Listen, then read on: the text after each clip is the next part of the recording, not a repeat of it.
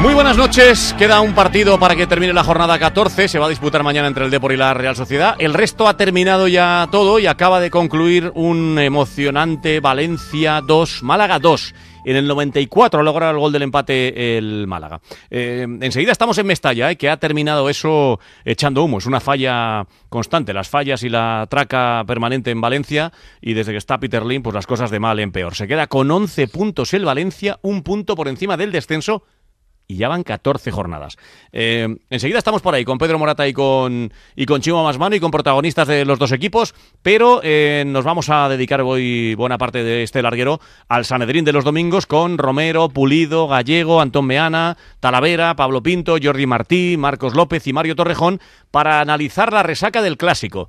Eh, un clásico que ha dejado algunos señalados en un equipo y en otro también, después de ese empate a uno de ayer en el Camp Nou, que no dejó especialmente satisfechos a ninguno de los dos equipos. Eh, luego hablaremos de todo ese asunto. Y también, por supuesto, del resto de partidos que se han disputado hoy. El Betis 3, Celta 3, el Athletic de Bilbao 3, Eibar 1, Alavés 1, Las Palmas 1 y Sporting 3, Osasuna 1. Eso en primera. Eh, en Liga de Segunda División, el Girona le ha ganado 2-1 al Levante, el Rayo 2-0 al Alcorcón, el Oviedo 1-0 al Nastic, el Tenerife 1-1 al Huesca, el Mallorca ha perdido 0-3 con el Real Valladolid y el Reus 1, Córdoba 2. Además del fútbol internacional, vendrá Bruno, también la Liga Endesa con Pacojo y la Fórmula 1 con Pedro Martínez de la Rosa y con Ponsetti para analizar las últimas noticias y la última hora sobre el asunto de Nico Rosberg y ese volante que puede quedar suelto. Para Alonso, pues tal vez para Alonso. Y además os hablaremos del asunto del que viene informando en estos últimos días el diario El Mundo sobre el posible o presunto delito fiscal de Cristiano Ronaldo y le vamos a intentar arrojar un poco de luz a esta historia. Y muchos enseguida tienden a compararlo. Es que lo de Neymar y lo de Messi bien que lo contáis y lo de Cristiano no lo contáis. En general, ¿eh? no, no lo digo por nosotros, lo digo por eh, esas noticias que llegan muchas veces de Barcelona. Pues os vamos a contar la diferencia que hay entre el asunto de Cristiano y los de Neymar y Messi, y vamos a intentar que lo entendáis un poco mejor. Eh, eh, pero a esta hora, 11 y 33, mm, están por allá Pedro Moratti y Chimo Masmano. Lo primero, acaba de terminar en Mestalla, con menos público que nunca. 22.000 aficionados han estado hoy viéndose Valencia-Málaga. Hola Morata, muy buenas. Hola Manu, buenas noches. Por decir algo, buenas noches, ¿no? Sí, buenas noches por decir algo, por la situación deportiva del equipo por la situación de rendición de, la gente que ya ni protesta, eh, lluvias en, en, Valencia, en fin, todo es un día absolutamente de nubarrones. Bueno, Mm, lo primero, eh, vamos a ir enseguida con eh, el público de Mestalla que está echando humo por la boca y espuma también, pero está por ahí eh, Chimo Masmano con protagonista del equipo que ha conseguido el empate sobre la bocina. Hola Chimo, muy buenas. Sí, hola Manu, en la escalería del autobús del Málaga, ¿qué tal? Aquí estamos con Pablo Fornal, el héroe del partido, apareció en el último minuto para darle un punto que le sabe a gloria al Málaga por la forma en la que ha llegado. Vaya partidito se ha marcado este hombre de este chaval, hombre, chaval, chaval, chaval, todavía chaval. De Castellón, que tiene aquí a sus padres, a toda su familia, que se han recorrido los 80 kilómetros que separan Castellón de Valencia, para despedir al héroe del partido que antes de marcharse a Málaga va a atender a Mano Carreño cuando yo le dé este auricular y esté en sintonía del larguero, momento que llega ya. Eh. Pablo Fornals contigo, Manu. Hola Pablo, muy buenas. Hola, buenas noches. Dice que eres un señor ya, Chimo, ¿qué te parece? Un señor, dice. No, para nada, yo sigo siendo un chaval y que espero ver mucho tiempo. Él se ve mayor y ya se cree que todos sois iguales, es verdad. Oye, enhorabuena, ¿eh? Muchas gracias. Dos golitos, ¿eh? Sí, la verdad que, bueno, el primer gol he llegado desde atrás, he pegado para finalizar jugada, ha entrado como Dios ha querido y ya está. y el segundo ha entrado mejor, ¿eh? El segundo Nessi ha controlado, me la ha dejado muy bien de cara y he intentado que fuera portería. En ese momento está todo muy acelerado y el balón con que vaya a portería pues tiene muchas más posibilidades de que entre. Os estáis aficionando a, ganar en el, sobre la bocina casi, ¿no? bueno, a ganar, a empatar, a sacar puntos. Eso también demuestra que este equipo nunca se rinde. Hmm, ahora estáis con 20 puntos, mitad de la tabla, buena situación. Para las dudas del principio, para coger confianza, viene muy bien, ¿no? El empate de hoy. Sí, la verdad que ya llevamos varios partidos, bueno, quitando este de Copa en Liga, llevamos varios partidos puntuando y que esperemos que siga así. Oye, ¿y el Valencia qué te ha parecido? Eh, porque ya habéis estado 15 últimos 15, 20 minutos, les teníais encerrados prácticamente, ¿eh? Bueno, nosotros hemos hecho nuestro partido, eh, ellos han puesto arriba en el marcador y nosotros si queríamos sacar algo pues teníamos que hacer eso y la verdad que nos ha salido bien. ¿Y se nota la tensión que, que viven ellos ahí en Mestalla o no? Bueno, eh, es un momento complicado para ellos, ojalá que salgan de esa situación y la verdad que todos conocemos Mestalla, es un campo muy caliente y así lo ha demostrado, pero la verdad que cuando se han puesto ellos por encima, esto también era una fiesta. Bueno, día complicado en Málaga también, y te dejo que se va el autobús, pero hoy día complicado en Málaga, me imagino que tu mente también allí, ¿no? Con lo de las inundaciones y la chica fallecida, día difícil ¿eh? en vuestra tierra. Sí, la verdad que sí, yo personalmente tengo a mi perro que no sé cómo estará en mi casa. No me digas, ¿no tienes noticias? No tengo noticias de mi perro y a ver cuando llegue pronto a ver qué, cómo está la cosa. ¿Pero no ha podido mirarte nadie o qué? Sí, pienso que sí, pienso que ha ido una mujer que me ayuda en casa y ahora llamaré a ver cómo está todo. Bueno, bueno, ¿cómo se llama el perro? Will. Bueno, seguro que está bien, Will, hombre. alguno de los goles hay que dedicárselos que seguro que está bien ahí esperándote. Seguro que está ahí en casa. Bueno, bueno, que siga la racha y que sigas jugando, que empezaste jugando poco, pero últimamente Juan de se nota que confía en ti y se está viendo, ¿eh? Bueno, esperemos, como bien dices, que siga así y muchas gracias por los ánimos. Venga, un abrazo, que vaya bien, que vaya bien, Pablo. Hasta luego. Los dos goles hoy del Málaga en Mestalla, ese in extremis en el 94 prácticamente, que le ha dado el empate al equipo de Juan de Ramos, Chimo. Así que se, se va el autobús, ¿no? Del Málaga. Sí, aquí estaba. Estaban esperando a Pablo Fornals. Bien tienen que esperarle a este chico, este joven que se está consolidando en la temporada pasada en el centro del campo. Hoy también nueva oportunidad aprovechando las bajas en la media de, de Juan de Ramos. Y me parece que lo ha aprovechado bien y ha sido el autor de ese gol que le da una alegría a los del Málaga y que deja destrozados a los cerca de 15.000 aficionados que todavía quedaban en Mestalla. Bueno, pues nada, dejamos a Pablo Fornals y el autobús del Málaga se marcha y le mandamos un abrazo ¿eh? a Málaga, todo el equipo del Larguero y de la SER, que ha sido un día muy complicado con el asunto de las inundaciones eh, y con esa chica fallecida. Eh, así que nada, un abrazo para toda la ciudad y para todos los pueblos de Málaga. y ojalá que aparezca bien el perro de, de Fornals, que es lo que ahora mismo le preocupaba también. Ojalá que sí. está por ahí Morata, está por ahí Chimo Más Mano, pero eh, antes de entrar en detalle, con su vida también analizar la delicadísima situación del Valencia, el último partido que acaba de terminar de esta jornada, de este domingo. Eh, me imagino cómo salía el público del estadio. Una entrada lamentable, de, sobre 54.000 que tiene de aforo Mestalla, había solamente 23.000 espectadores. Eh, se veía la grada semivacía. Y han terminado con ese empate in extremis del Málaga y ahí salían así del estadio de Mestalla. ¿Qué sientes al ver al actual Valencia? Al ver al actual Valencia siento una impotencia tremenda de ver a los jugadores que en la segunda parte se duermen y no dan pie con bola, no sintiendo los colores y sin saber nada del club, ni del Peter Lynn, ni de nadie. Plena impotencia, rabia de no poder nunca acabar un partido feliz y irse todos los domingos amargados a casa. Me, decepciona un montón. Veo que no juegan al fútbol y te aburren. Una vergüenza. Se tiene que ganar jugando, no perdiendo tiempo, que hubiera podido ganar el partido y lo que ha hecho ha sido el ridículo, porque tenía el partido ganado. ¿Qué le diría usted a Peter Lynn si le escuchara ahora desde Singapur? si me escuchara, pues que se quedara allí y que dejara el equipo en manos de los valencianos, porque lo que ha hecho es una vergüenza. Ha traído a cuatro que no sirven para nada que no sienten los colores ni sienten nada. Pues primero darle las gracias por haber invertido en el Valencia, pero que, que tiene que buscar una solución con las salidas para fichar a gente, gente que de verdad dé la talla por la camiseta y por el escudo. Que venga y que dé la cara, que si es el dueño, que mande desde aquí y no desde allí es el que ha puesto el dinero, el dinero es suyo, ¿no? Si lo pierde, lo pierde él. Bueno, es una constante, ¿eh? Podríamos estar así media hora más de programa, Pedro y Chimo, porque, porque el público es un reflejo de, lo que es esa ciudad ahora mismo, esa afición más caliente que nunca, porque ven que las cosas no, salen. Y también ha hablado Rodrigo, me parece que ha hablado en la televisión, ¿no? En, en Sport al acabar el encuentro.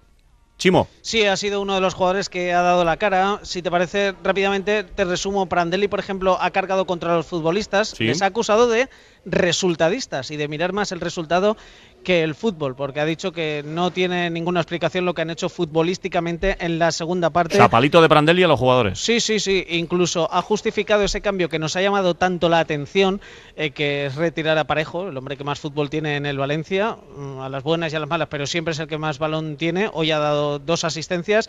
Pues bien, ha dicho que como el equipo no quería el balón y no quería jugar a fútbol ni proponer, ha metido a Fede Cartavia para intentar presionar al contrario y mirar más al Málaga que el Valencia. Así de duro, ha dicho Prandelli. Por ejemplo, Siqueira también ha sido duro, ha dicho que no han estado a la altura del Valencia los jugadores. Sin embargo, Alves, por ejemplo, sí que ha sido más proteccionista y ha dicho que ellos, los jugadores, son quienes tienen que darle la vuelta a esto, pero mm. el que lo ha hecho de forma más gráfica, yo creo, ha sido un hombre que siempre habla tan bien como se esfuerza en el campo y hoy marcando el primer gol. Rodrigo Moreno Machado, nada más terminar el, nada más terminar el partido, ha resumido así el sentir del vestuario. Creo que estamos en una situación jodida, eh, en el que poco hay que mirar a, lo individual.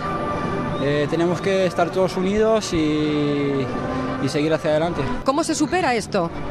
Entrenando, trabajando, eh, estando más unidos que nunca entre nosotros. Sabemos que nadie lo va, nadie lo va a hacer por nosotros, eh, poco más.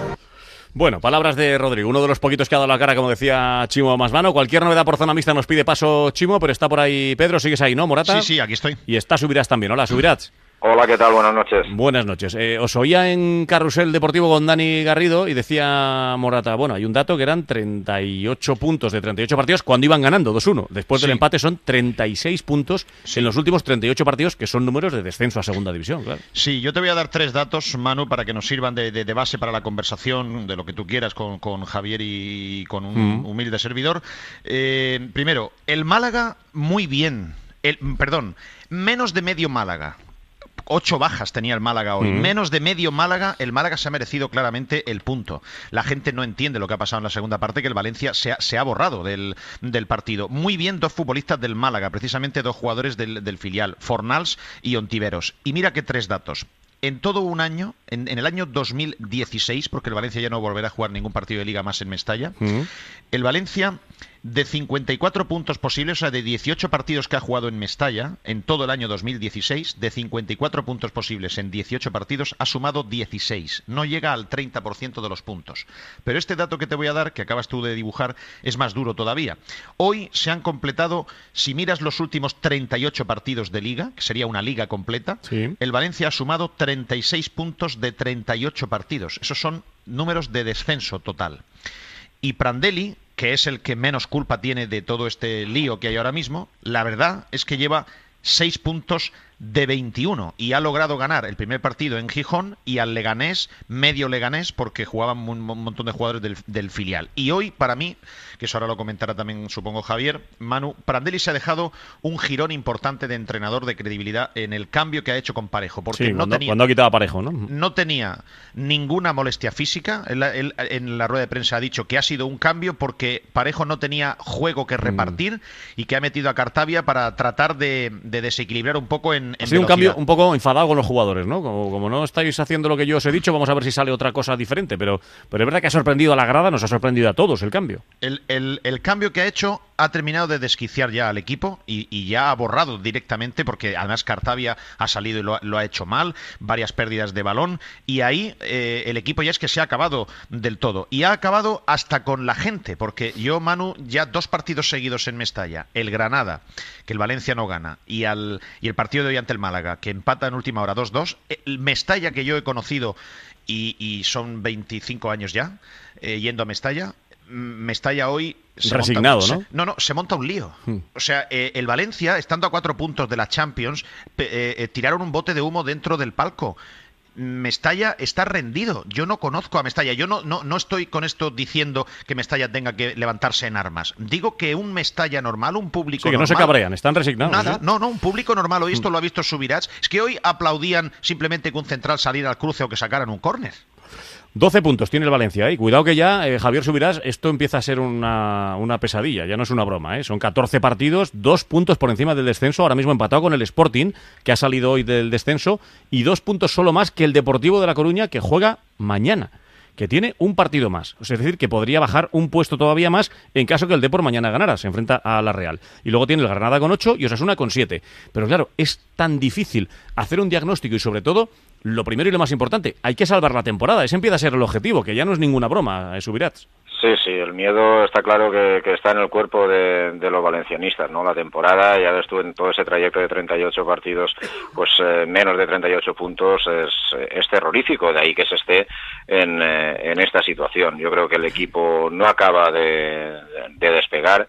Hoy tenía la oportunidad, incluso no jugando del todo bien, porque al final tampoco ha sido la, segunda parte. La segunda parte ha sido para, para olvidar, pero en la primera recordemos también que incluso Siqueira ha tenido que sacar un balón eh, desde la raya. O sea que, Hmm. que el, el, el Málaga es el que ha tenido el control de partido eh, totalmente. Y, efectivamente un Málaga diezmado con, con, muchísimas bajas, pero que le ha dado una lección de juego al, Valencia. Y esto es muy, muy preocupante. Yo creo que ahora mismo son prisioneros de, de, esa tensión que les atenaza y sobre todo jugando en casa. El Valencia está, es que los últimos 20 minutos ha dado un paso atrás, o 25 minutos, le ha dicho al Málaga, toma, el balón es tuyo y me voy a defender hasta que pite el final el árbitro, porque era un baño del Málaga al Valencia. Era un baño, ha sido completamente el balón del, del Málaga, jugaba, jugaba a sus anchas, porque además por mucho que aglomeraba, por muchos jugadores que aglomeraba el Valencia,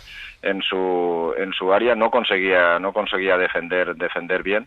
Y en cuanto al cambio pues pues eh, que hemos hablado de, Parejo también por por Fede pues la verdad que él, comenta que, que, buscaba quizá mayor consistencia defensiva. Fede desde luego no es un jugador de consistencia defensiva. Yo creo que el equipo lo, lo que tenía que hacer era intentar tener más la posesión de la pelota para ir a buscar ese gol de, de la tranquilidad. Y efectivamente pues tampoco ha estado ahí muy fino el mister. Me imagino os pregunto a los dos eh, que eh, lo, lo que tiene la directiva en la cabeza, lo primero es buscar algún refuerzo en el mercado de invierno. Refuerzo que en parte ha pedido Prandelli, en el que está trabajando Suso García Pitarch, pero claro, muchos empiezan a mirar a Prandelli. Es que ya no, ya no puedes traer más entrenadores. Primero, la pasta que hace falta para traer a esos jugadores y segundo, te los pide Prandelli, que es un entrenador que sí, vamos a ver. Eh, es que, ¿qué, haces ahora? Estás atado de pies y manos. Ya no puedes mover un cuarto entrenador esta temporada. No, es que además Prandelli tiene contrato para el año que viene. Claro. En, en vigor. Hay que soltar pasta para fichajes y si te cargas a Prandelli, pasta para pagar a Prandelli. Aquí, eh, con el tema de los fichajes, voy a aprovechar, ya he encendido una luz ámbar hoy en, Carrusel. Yo creo que hay un pique ya, eh, Prandelli-García Pitar, por lo siguiente. Porque García Pitar, el director deportivo del Valencia, cuando presentó a Prandelli el 3 de octubre, le preguntaron si iba a hacer fichajes en el mercado de invierno y, García Pitar dijo es una decisión del Consejo de Administración de gastarse dinero o no, pero fair play financiero, es decir, eh, posibilidades legales que te da la liga en función de tus ingresos y tus gastos que, que tienes, dijo García Pitar que sí, que era positivo y que había posibilidades. Sin embargo, hace tan solo unos días han convocado en un off the record a medios de comunicación, a los que ellos eligen, y han venido a decir que no hay casi fair play para fichar y que si no hay salidas no puede haber entradas. Y esto se ve que le ha llegado a Prandelli, eh, bueno, se ve, no, le ha llegado a Prandelli a sus oídos y ayer le preguntaron en rueda de prensa y dijo, yo no sé nada de nada de todas estas declaraciones. Yo sé que cuando hablé con el dueño en Singapur para fichar, me dijo que dentro del fair play se harían los esfuerzos necesarios. Pero como Valencia es un club opaco que no informa nada y no se quiere informar de, la disponibilidad de fair play que hay o no para fichar futbolistas que nosotros creemos y mm. sabemos que hay, porque no se le quiere decir a los aficionados que es posible fichar futbolistas por el fair play por si luego no fichan para que no critiquen a Peter Lim.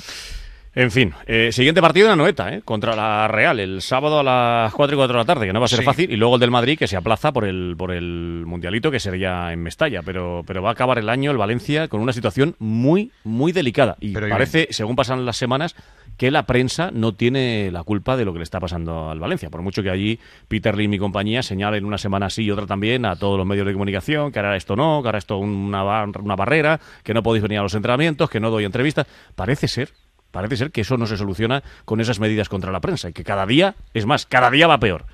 Pero bueno. Eh, ¿Sabes quién pilota la crisis eh, en este bueno, momento? Si la pilotara. Manu, ¿sabes, quién pilota la crisis en este instante? ¿Quién? La pilota la presidenta, y la pilota no, no es el juego valenciano de mm, pelota, mm. la pilota Lei Jun, que es una especialista en consejo de administración, últimamente Medical Thompson. Kim Ko, que es un militar retirado, ingeniero civil, que no habla ni castellano después de dos años aquí.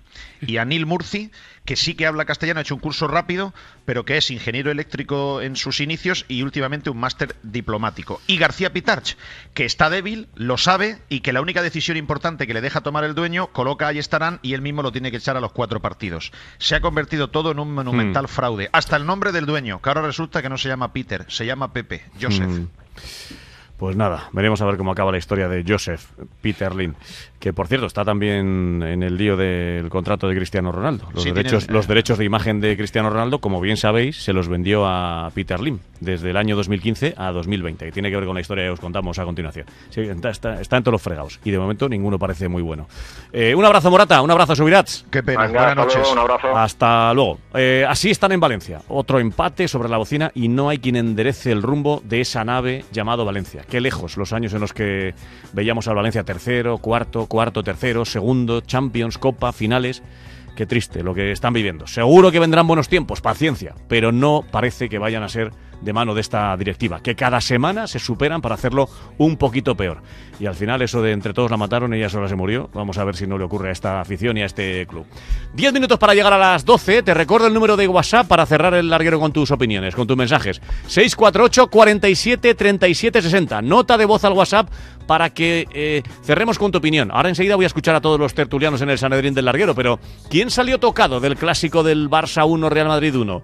En el Fútbol Club Barcelona, ¿qué nombres pondrías? ¿A quién señalarías?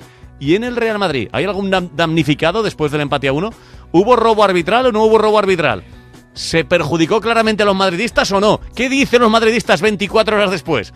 Bueno, todo esto enseguida en el Sanedrín del Larguero. Y enseguida contigo, 648 47 37 60. Tu nota de voz al WhatsApp del Larguero y cerramos contigo. Vámonos.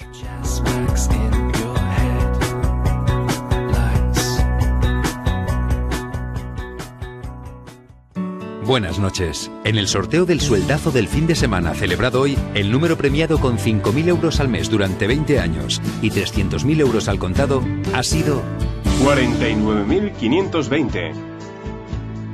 Serie 33. Asimismo, otros cuatro números y series han obtenido cada uno de ellos un sueldazo de 2.000 euros al mes durante 10 años. Puedes consultarlos en juegos11.es. Mañana, como cada día, habrá un vendedor muy cerca de ti repartiendo ilusión. Buenas noches. Y recuerda, con los sorteos de la 11, la ilusión se cumple. Si eres un loco del Black Friday, ahora llega algo aún mejor. Los precios irrepetibles de Opel Ocasión.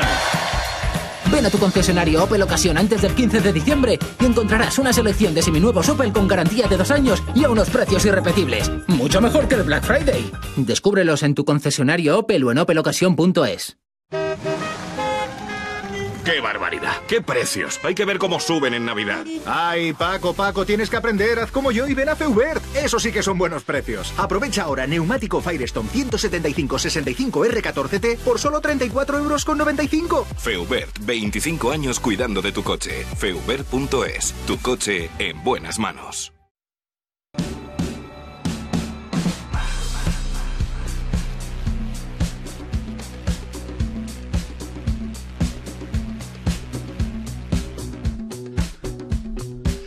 Quedan ocho minutos para llegar a las 12. Seguimos en el larguero. Enseguida ya están por ahí. Creo que ya están calentando, ¿eh? Romero, Gallego. Alguno me está haciendo el gesto del robo. Robo, no sé por qué. Alguno está haciendo ese gesto ahora quiero oírles a todos. Romero, Gallego, Pulido, Antón Meana, Torrejón, Jordi Martí, Marco López, Talavera y Pablo Pinto. Enseguida hablamos de todo lo que nos ha dejado el partido del Barça Madrid y del Atlético de ayer también, que no pudo pasar del empate a cero ante ante el español. Pero tengo aquí, antes de ir con el Sanedrín, la portada del mundo de mañana donde el titular es la tapadera caribeña en la que Cristiano guardó 150 millones. Da más detalles sobre esa información de la que vienen eh, contándonos los tres últimos días. Las tres sociedades ligadas al jugador estaban registradas en un edificio de Road Town, en las Islas Vírgenes, con una farmacia en el bajo. Cristiano corre el riesgo de ser imputado, tal y como le sucedió a su ex compañero Carballo, curiosamente también asesorado por Jorge Méndez. Y patrocinadores como Nike, Honda, Emirates y Herbalife pagaban al portugués hasta 2 millones de euros por apenas unas horas de trabajo. Bueno, eh, repito, información que viene mañana en la portada del Mundo eh, y que de momento eh, no tiene consecuencias judiciales, es decir, de momento no se ha abierto un proceso judicial. por lo tanto, no se puede determinar todavía si Cristiano es culpable o inocente. Con esto hay que tener mucho cuidado, que enseguida salimos a decir, este es un ladrón, este roba y a la cárcel. Puede haber una irregularidad administrativa que se pague y se, y se solventa esa deuda con la agencia tributaria, o puede que haya algo más. Eh, de momento hay indicios y todo es presunto, eh, pero para que eh, esto se judicialice tiene que haber una denuncia o, o, que la fiscalía le pida al juez que se abra un proceso penal. Cosa que ya ocurrió en el caso de Messi y además hubo un juicio y además una condena contra Leo Messi. O simplemente os doy la información. En el caso de Leo Messi hubo una petición y una denuncia previa de la fiscalía. El juez la admitió a trámite, abrió un proceso penal judicial y hubo una condena, una sentencia contra Leo Messi y su padre. En el caso de Neymar, también ha habido una denuncia de la Fiscalía con penas muy graves y muy fuertes que ha admitido a trámite un juez. Y veremos qué ocurre en ese juicio, si también hay condena o no contra Neymar. Repito, con Messi hubo petición, el juez la admitió a trámite y hubo juicio y condena. Con Neymar ha habido una petición de la Fiscalía y el juez la admitió a trámite. Veremos qué pasa al final de ese juicio. Con Cristiano Ronaldo de momento no hay ningún proceso judicial. Que no digo que no lo vaya a haber. Que no digo que no haya habido evasión fiscal. O, o sí o no, habrá que esperar. Lo que sí que de momento hay es información que tiene que ver con unas irregularidades que en principio están asociadas a una sociedad que tenía Cristiano Ronaldo en las Islas Vírgenes Británicas, de cuando él era jugador del Manchester United. Y que eso, en Reino Unido, se permite. Eh, Es decir, no es ilegal. Sin embargo, lo que se estudia ahora mismo es si ese mismo modelo de sociedades o de entramado de sociedades que tenían las Islas Vírgenes Británicas cuando él tributaba en Reino Unido, si eso al venirse a España se sigue considerando legal o no es legal. Esas irregularidades son las que ahora le investigan a Cristiano Ronaldo, que por cierto, según ha dicho la agencia tributaria de nuestro país, está al corriente de pago con Hacienda. Eso no quiere decir que no haya una investigación paralela que está produciéndose en estos momentos al hilo de estos documentos que ha sacado el diario El Mundo. Pero quería preguntarle a un experto en este asunto, rápidamente antes de empezar con el Sanedrín, a Paco Fernández, que es eh, director del Departamento Deportivo, eh, un experto en este tipo de asuntos que seguramente se te pueden hacer un poco de bola si hablamos de términos legales y que colabora también con, con Sport para que nos arroje un poquito más de luz sobre esta historia. ¿Está por ahí a Paco Fernández? Hola Paco. Hola, ¿qué tal? Buenas noches. Eh, eh, lo primero, eh, estas informaciones que está sacando el diario El Mundo nos indican que hay irregularidades en los pagos a Hacienda de Cristiano Ronaldo en España. Bueno, mm, lo que se está publicando ha sido pues el hackeado de algunas eh, comunicaciones internas eh, y bueno, pues eh, la agencia tributaria lo que ha hecho ha sido emitir un certificado a petición de los interesados, concretamente se imagino que habrá sido la representación legal de Cristiano, indicando que está al corriente y su situación tributaria es absolutamente normal. Eso no es óbice para que, bueno, pues la agencia tributaria esté investigando los ejercicios que todavía tiene vivos, que son los últimos cuatro ejercicios. Hmm.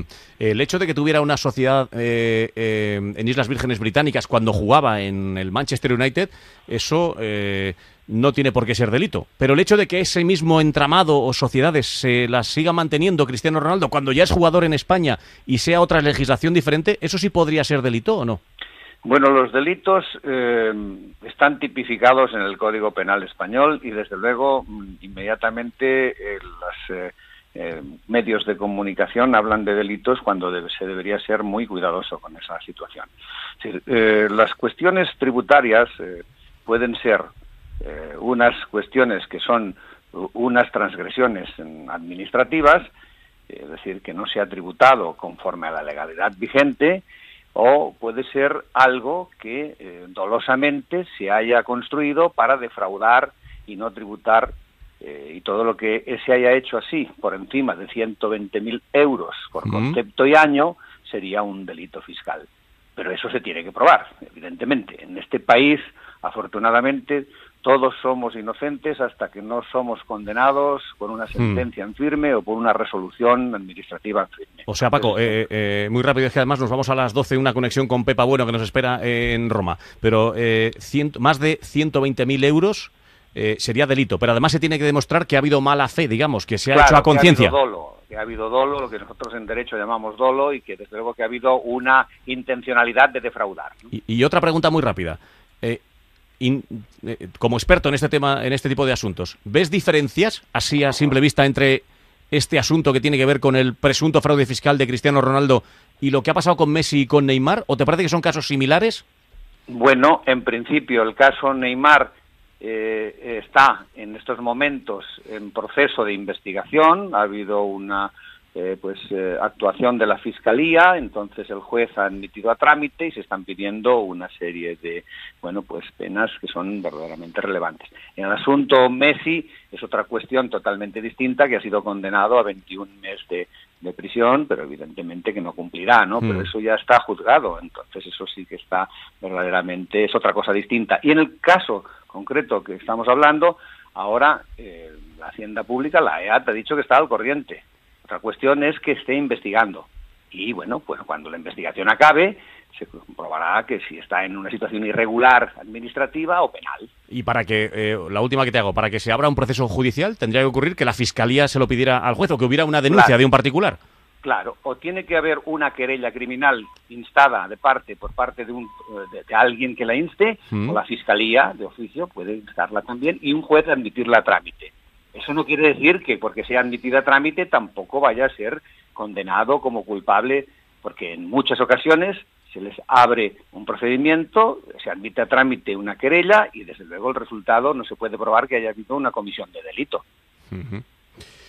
Bueno, esperaremos a ver. Eh, hay que recordar que esta información que está sacando el diario El Mundo efectivamente procede de unos hackers informáticos que han hackeado eh, varios despachos de abogados, entre ellos los de Sen, eh, Julio Sen, eh, y que y que se Yo filtrado y que se ha que lo- filtrado a varios medios de comunicación. Lo digo porque lo digo porque en todo lo que he leído una situación, una Sí. situación de inseguridad jurídica absoluta que los compañeros habrán obrado con su consejo absolutamente de manera seria eh, porque tanto Julio Sen como Javier Ferrero son Sí. dos profesionales extraordinarios y desde luego con prestigio y entiendo que mm, bueno que esa información que bueno Football Leaks eh, como tantas otras ocasiones eh, han sido divulgadas pues bueno, han sido obtenidas de manera absolutamente ilegal y bueno, a ver en qué queda todo esto, porque la, la cuestión es que eh, la AEA tiene que realizar su investigación si es que la está realizando y desde luego tiene que acabarla y tiene que darle también para que presente alegaciones a la parte que está siendo investigada. Y una vez haya presentado las alegaciones eh, la parte investigada, pues bueno, emitirá su juicio y luego pues se procederá en consecuencia.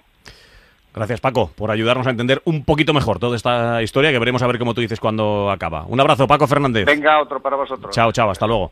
Eh, esta es información que, que se roba de despachos eh, de abogados, entre ellos, como digo, el de Sen Ferrero, eh, y que se filtra a los medios de comunicación. No sé si estos de Football League son Robin Hood o son Alibaba, no, no, sinceramente no lo sé, pero te trincan la información de los ordenadores, se la filtran a los medios de comunicación. Este despacho de abogados, en concreto, Sen Ferrero, le pidió al juez o que se le prohibiera a ningún medio de comunicación, ni en España ni fuera, publicarlo, porque entendía que era información eh, confidencial y personal de sus clientes, pero eh, finalmente el mundo ha decidido eh, publicarlo y a raíz de ahí veremos si acaba judicializándose, judicializándose el asunto o no que a esta hora no lo está. Eh, 12 y 2 minutos de la noche. Es un poco farragoso esta historia, pero evidentemente si estás al pie de la noticia es lo que ahora mismo corre por los mentideros futbolísticos. O sea que Cristiano también ha robado 150 millones.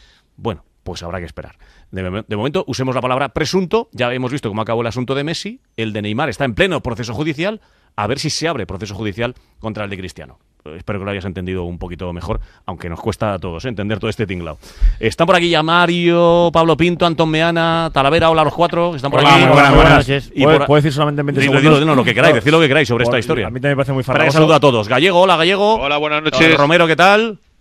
Hola, muy buenas a todos. Hola Pulido. ¿Qué tal? Buenas noches. En Barcelona, Jordi Martí, hola. Buenas noches. Y Marcos López, hola Marcos. Buenas noches a todos. Creo que no se me olvida a nadie. Mario. Que iba a decir que a mí me parece farragosísimo y pesado, pero por hablar de información y de sensaciones, hay que decir que eh, me cuentan compañeros de Cristiano Ronaldo que ayer en el vestuario y en el viaje estaba muy tranquilo, que, que no cree que le vaya a suceder absolutamente nada porque cree que todo lo ha hecho, bueno, regularmente por lo menos, que el entorno de Cristiano es exactamente lo mismo y que además se remite solamente a los comunicados que, que he metido, entre ellos el de la agencia tributaria, y que en el Real Madrid están convencidos por lo que intuyen y por lo que ven de Cristiano Ronaldo que el proceso va a quedar en nada. Digo, eso son sensaciones del lado de, de Cristiano por, Mm. por, eh, entenderlo y porque se sepa, simplemente. Yo creo que es un tema que no da para debate. Quiero decir, esto no es si un Sí, equipo sí, juega está bien claro, o juega esto mal. es- esto es una es. investigación que hay abierta Y hay que y esperar, ya sí, veremos sí. Para qué, en, en qué termina. Hmm. Lo que espero es que sirva para acabar con la catetada esa de que a los jugadores del Barça van a por ellos porque hay influencias Exacto. por detrás de no sé qué. Pues miren, señores, si La mano blanca, dice. también Sí, se ha sí. ido a por Cristiano y ya veremos si es culpable o no. Y además antes de un Barça-Madrid, que había quien decía Además, que era eso, justo sí. antes de los partidos Siempre importantes. antes de un tal salía algo de Neymar, salía algo de Messi. Bueno, de No, los dos pero- salió. Pero y- Pablo, hay una diferencia muy importante entre lo que ha pasado con los casos de Messi, Mascherano, Alexis. En estos tres casos, Mm. la agencia tributaria denuncia a la fiscalía. Y en el caso de Messi, la novedad que más llama la atención es que de momento la agencia tributaria no ha denunciado a la fiscalía. ¿Me entiendes, Pablo, la diferencia Bueno, que de hay? momento hay una diferencia que los tres ya han pagado, los tres del Barça. ¿No? No, no, los tres de Barça ya han pagado todo. Vale, correcto. Pagado y están condenados. Están condenados, tanto Correcto. Mascherano como Messi. A mí esa que diferencia Neymar, Neymar todavía no. De momento No, esa es que diferencia me Neymar no parece es- más Neymar, importante que perdona, la que Neymar, tú. Neymar Pablo no es por un delito fiscal, es Sí, por sí. otro No, no, no, yo te digo los tres por. Por estafa entre particulares. Sí, No, está claro. Yo a lo que voy es la diferencia esa de que se va por los jugadores del Barça porque hay una mano negra o blanca, mejor dicho, por detrás, que antes de cada partido se intenta desestabilizar y milongadas de estas. Sí, hay un jugador del Madrid por el que se ha ido y se le está investigando. Ya veremos si es culpable o no. Ya Yo está. solo quiero, yo a mí solo me gustaría decir una cosa, en referencia sé. a lo que dice Mario. Eh, yo todavía no conozco un caso de estos en el que el futbolista diga, no, estoy intranquilo porque he tangado. Eh, todo- al principio todos dicen, eh, eh, bueno, estoy muy tranquilo porque yo lo pago todo, porque seguramente él eh, estime y tenga la información de que lo ha pagado todo, porque Cristiano Ronaldo no está en el día a día de la pasta que cobra. Eso por un lado. Y por otro lado, eh, a mí siempre me queda la, la- la duda de el tipo de gente que rodea a los futbolistas. Claro, ese es el. Eh, yo- yo creo, yo creo que los futbolistas deberían empezar a entender que normalmente la gente que tiene a su alrededor es la gente que le complica la vida. Por, eh, por muy buena voluntad que tenga la gente que tenga que tiene alrededor, pero cuando tú tienes mucha pasta y se maneja esa cantidad de dinero, normalmente la gente que tienes alrededor, que también te dicen tranquilo, todo está bien, Claro. es la gente que le complica la vida. Sí, yo estoy en esa idea también. Yo creo que, que Cristiano, Neymar y Messi no tienen ni idea de todo este asunto seguro, pero tienen que dejarse asesorar por personas eh, que no le lleven a ningún lío, ¿no? Y, y- y bueno, pues, Neymar es su padre. Bueno, te quiero decir, bueno, padre. me imagino pues que detrás del padre también habrá un entramado, ¿no? Claro, es que Julio, cuando tú tienes 18 años, que es la edad que tenía Messi cuando supuestamente se creó la arquitectura esta Mm. defraudatoria, eh, tenía 18, 19 años. ¿Qué edad podría tener Cristiano cuando aterrizó eh, proveniente del Manchester? o Tampoco cuando- creo, Jordi, que Eh, tuviera la carrera de economía Eh, sacada por- Cristiano. por eso te digo que se fían. Si ellos 2008, claro, se fían de sus de padres. de se 22 fían de sus padres. El y programa padre tiene sus- muchos defectos, ¿eh? Ahora, yo esto que nos ha dicho el señor Fernández es interesante. Lo que dice la agencia tributaria es que Cristiano está al corriente de pago. Sí. Ahora, lo que hay que ver es si con esto es suficiente. Claro, porque cuando te es. pilla Hacienda, con que tú pagues y devuelvas lo que te reclaman, a veces no es suficiente. Mm. La única diferencia ahora es si la agencia tributaria, que vio ánimo defraudatorio en Messi, Mascherano, Alexis, lo verá en el caso de Cristiano. Esta es la pregunta. Y luego, y luego decías tú una cosa, eh, Manu, que para mí es, es importante en este caso y en otros que ha habido. Decías tú, no sé si son eh, Robin Hood o Alibaba. Yo para mí cualquier información, cualquier fuente Hmm. que consigues robando cosas que no son Claro, tuyas, por eso digo que- a mí me parece que... Y, y te lo digo porque aquí enseguida mm, ya decimos, eh, tal jugador eh, cobra esto porque lo ha dicho Fútbol League. Aquí tenemos la fea costumbre de creernos todo lo, lo primero que aparece. Hay una, vamos a ver si ahora hay una investigación de, de la agencia tributaria sobre Cristiano Ronaldo y si hay alguna irregularidad. Y por lo tanto luego lo, lo diremos o se denunciará y se comentará. Pero mientras tanto, lo que dice uno que ha dicho otro que ha robado un papel de un... No, no, han, han hackeado es- despachos, de abo- des- es- despachos de abogados que en muchos casos, en muchos casos, yo tampoco conozco. No, son de- delincuentes. Si tú robas información privada, eres eh, el- eres los que roban, los que roban sí, pero digo que en muchos casos esos despachos de abogados lo que son es eh, eh, mm, gestores, de- Intermediarios. intermediarios de, de los que han montado el entramado, es decir, es decir. Eh, muchos relacionan al despacho de Sen Ferrero, por ejemplo, o poner el nombre que queráis, el despacho de abogados que sea, pero la mayoría de estos despachos lo que son son abogados a los que le llama, por ejemplo, Jorge Méndez en este caso para decirle, oye, tengo un marrón con Mourinho, que fue el primero. Cuando ven el marrón que tiene con Mourinho, le dicen, oye, a ver si me puedes mirar esto y me lo puedes arreglar. Estos abogados trabajan en ese, eh, eh, en intentar arreglar a sus clientes, pero el entramado no le monta ese despacho de abogado. Se lo monta Méndez, que es curiosamente el mismo de Mourinho y el mismo de Cristiano. Entonces, cuando estos asesores, abogados, ven el marrón que tienen con Mourinho, le dicen, ándate con ojo, que Cristiano igual te va a pasar lo mismo. Pero en caso de que hubiera alguna irregularidad, es Méndez y su empresa quienes le han montado ese entramado, digo en caso de que lo hubiera, que no sé si lo hay, eh, quienes le han montado el entramado de sociedades o de, tal. Y Cristiano, pues, ¿qué va a decir? Pues bueno, pues si tú lo ves bien, pues tira para adelante. Yo qué sé. En fin, usted- vámonos al fútbol, una más, venga, que nos vamos No. al fútbol. Meana y Jordi. No, que luego estamos siempre con, con lo mismo, ¿no? Que esto suele venir, y Jordi lo sabe, eh, que lo has seguido mucho, con tema de derechos de imagen, que los futbolistas insisten que no es sueldo. Eh, y en España ya ha quedado claro, Sí, sí, eh, con vamos. sentencias del Supremo, que a ti te pagan tanto dinero porque eres futbolista. Eso es no sueldo. porque eres guapo, ni Exacto. porque eres alto, ni porque tengas muchos followers. Y que eso en España se considera sueldo, según el Supremo, y que tienen que pagar los derechos de imagen en el país en el que viven o trabajan. Jordi, la última, que nos vamos al fútbol. No, simplemente que en el caso de Messi, acordaos que Messi siempre dijo que aquello era cosa de su padre, que él jugaba fútbol y que de papeles y de números no Mm. sabía nada. Pero estas explicaciones que la fiscalía dio por buenas no le sirvieron ante el juez. El juez no se lo creyó y consideró que Messi, a los 19 años, era el arquitecto de la trama defraudatoria. Por lo tanto, cuidado. ¿eh? Porque no te esto de la ignorancia, a veces la justicia no te Sí, va a dar sí, por sí, buena. No, no, vamos, ya te digo No, yo. no, y sol- solamente una cosa, Sí. Gallego. No sé si será inocente o no cristiano, la justicia lo dirá. Pero eh, esto es un síntoma más de que aquí durante muchos, muchos años Sí. han tenido los futbolistas manga ancha para no pagar a Hacienda todo lo que tenían que pagar. Totalmente. Por unos casos o por otros, esto se ha terminado y yo creo que es una gran noticia para todos los Sí, españoles. el caso es que tenemos a Messi, a Neymar y a Cristiano Ronaldo, los tres mejores futbolistas del mundo en nuestra liga y los tres empapelados, uno por una cosa, otro por otro, uno sospechoso, otro condenado y otro en trámite por haber trincado. Por... Bueno, ojalá que esto sirva, como dice Gallego, para que haya un antes y un después y que ¿Te pagan 20 millones con Nike? Pues factura lo que te toca. Estás en España, te tendrás que amoldar a, a- a lo que hay en España. Y si luego estás en Inglaterra y te permite tener una sociedad en las Islas Vírgenes Británicas, pues enhorabuena. ¿Pero eso se puede hacer en España? Pues parece que no. Pero, repito, de momento presunto. Mañana más información en el diario El Mundo sobre esta historia. Pero quiero preguntaros por el clásico. 12 y 10, estamos en el larguero.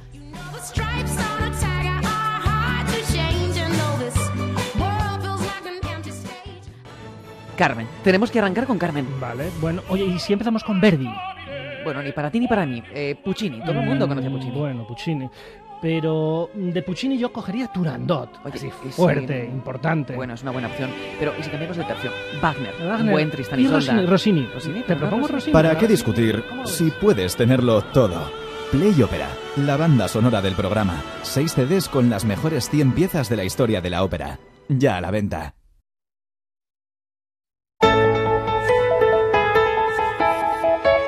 El larguero con Manu Carreño. Atención, si tienes hipoteca multidivisa, cláusula suelo o una hipoteca abusiva, infórmate de tus derechos en bufeterosales.es o en el 91 550 15 15. Bufete Rosales, especialistas en derecho bancario. Hagan juegos, señores. Gran Casino de la Mancha les da la bienvenida. Mesas de juegos de casino, torneos de póker, apuestas deportivas y restaurantes en un edificio exclusivo de tres plantas. Aprovecha tu suerte en Gran Casino de la Mancha, en Avenida de las Naciones 11 de Illescas, por la autovía 42, salida 32 desde Madrid y desde Toledo, salida 33. Abierto todos los días. Escuchen esto. No es el infierno. Es la parte no visible ni audible de un restaurante. Una de las voces que gritan en la marabunta es Almudena Cid, que debuta en el teatro con la obra La cocina. No vamos a entrar en más detalles porque como está este lunes en la ventana con Carlas Francino, mejor la escuchan. He dicho escuchan aquí, en la cadena Ser. Cuando quieres vender o cambiar tu coche, te encantaría que pasara algo como esto. no, no te oigo. Dímelo más alto. Enséñame la pasta. ¡Más alto! ¡Enséñame la pasta! En Ocasión Plus no te hace falta. Directamente te ofrecemos más que nadie. Somos el número uno en compra de vehículos y mejoramos cualquier tasación. Garantizado. Ocasión Plus. Estamos en Getafe, Las Rozas, Rivas, Collado Villalba y en ocasiónplus.com. Ocasión Plus. Nos tomamos la compra o venta de tu coche muy en serio. Hace décadas había que ser muy valiente para hablar de sexo. Y nadie pensaba en hacerlo en la radio, el hablar de ello. Más tarde se habló mucho de sexo en los medios, de la teoría del sexo, sexo en láser, con Celia Blanco. Seguro que tus noches con sexo te resultan infinitamente más apetecibles. Por eso queremos que nos incluyas en ellas, tengas o no con quien compartirlas. La vida y el sexo son mucho más divertidos contigo dentro. Contigo dentro. Madrugada del domingo al lunes. Sí, en la cadena Ser.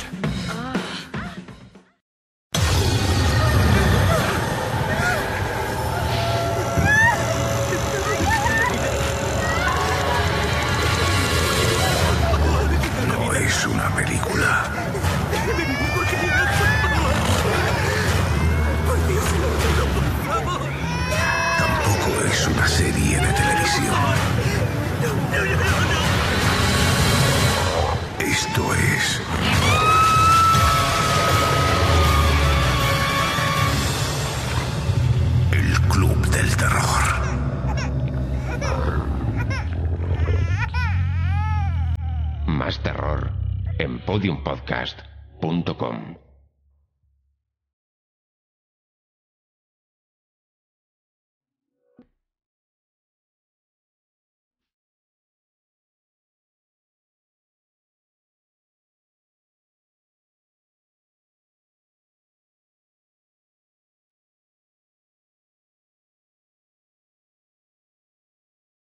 El larguero, Manu Carreño.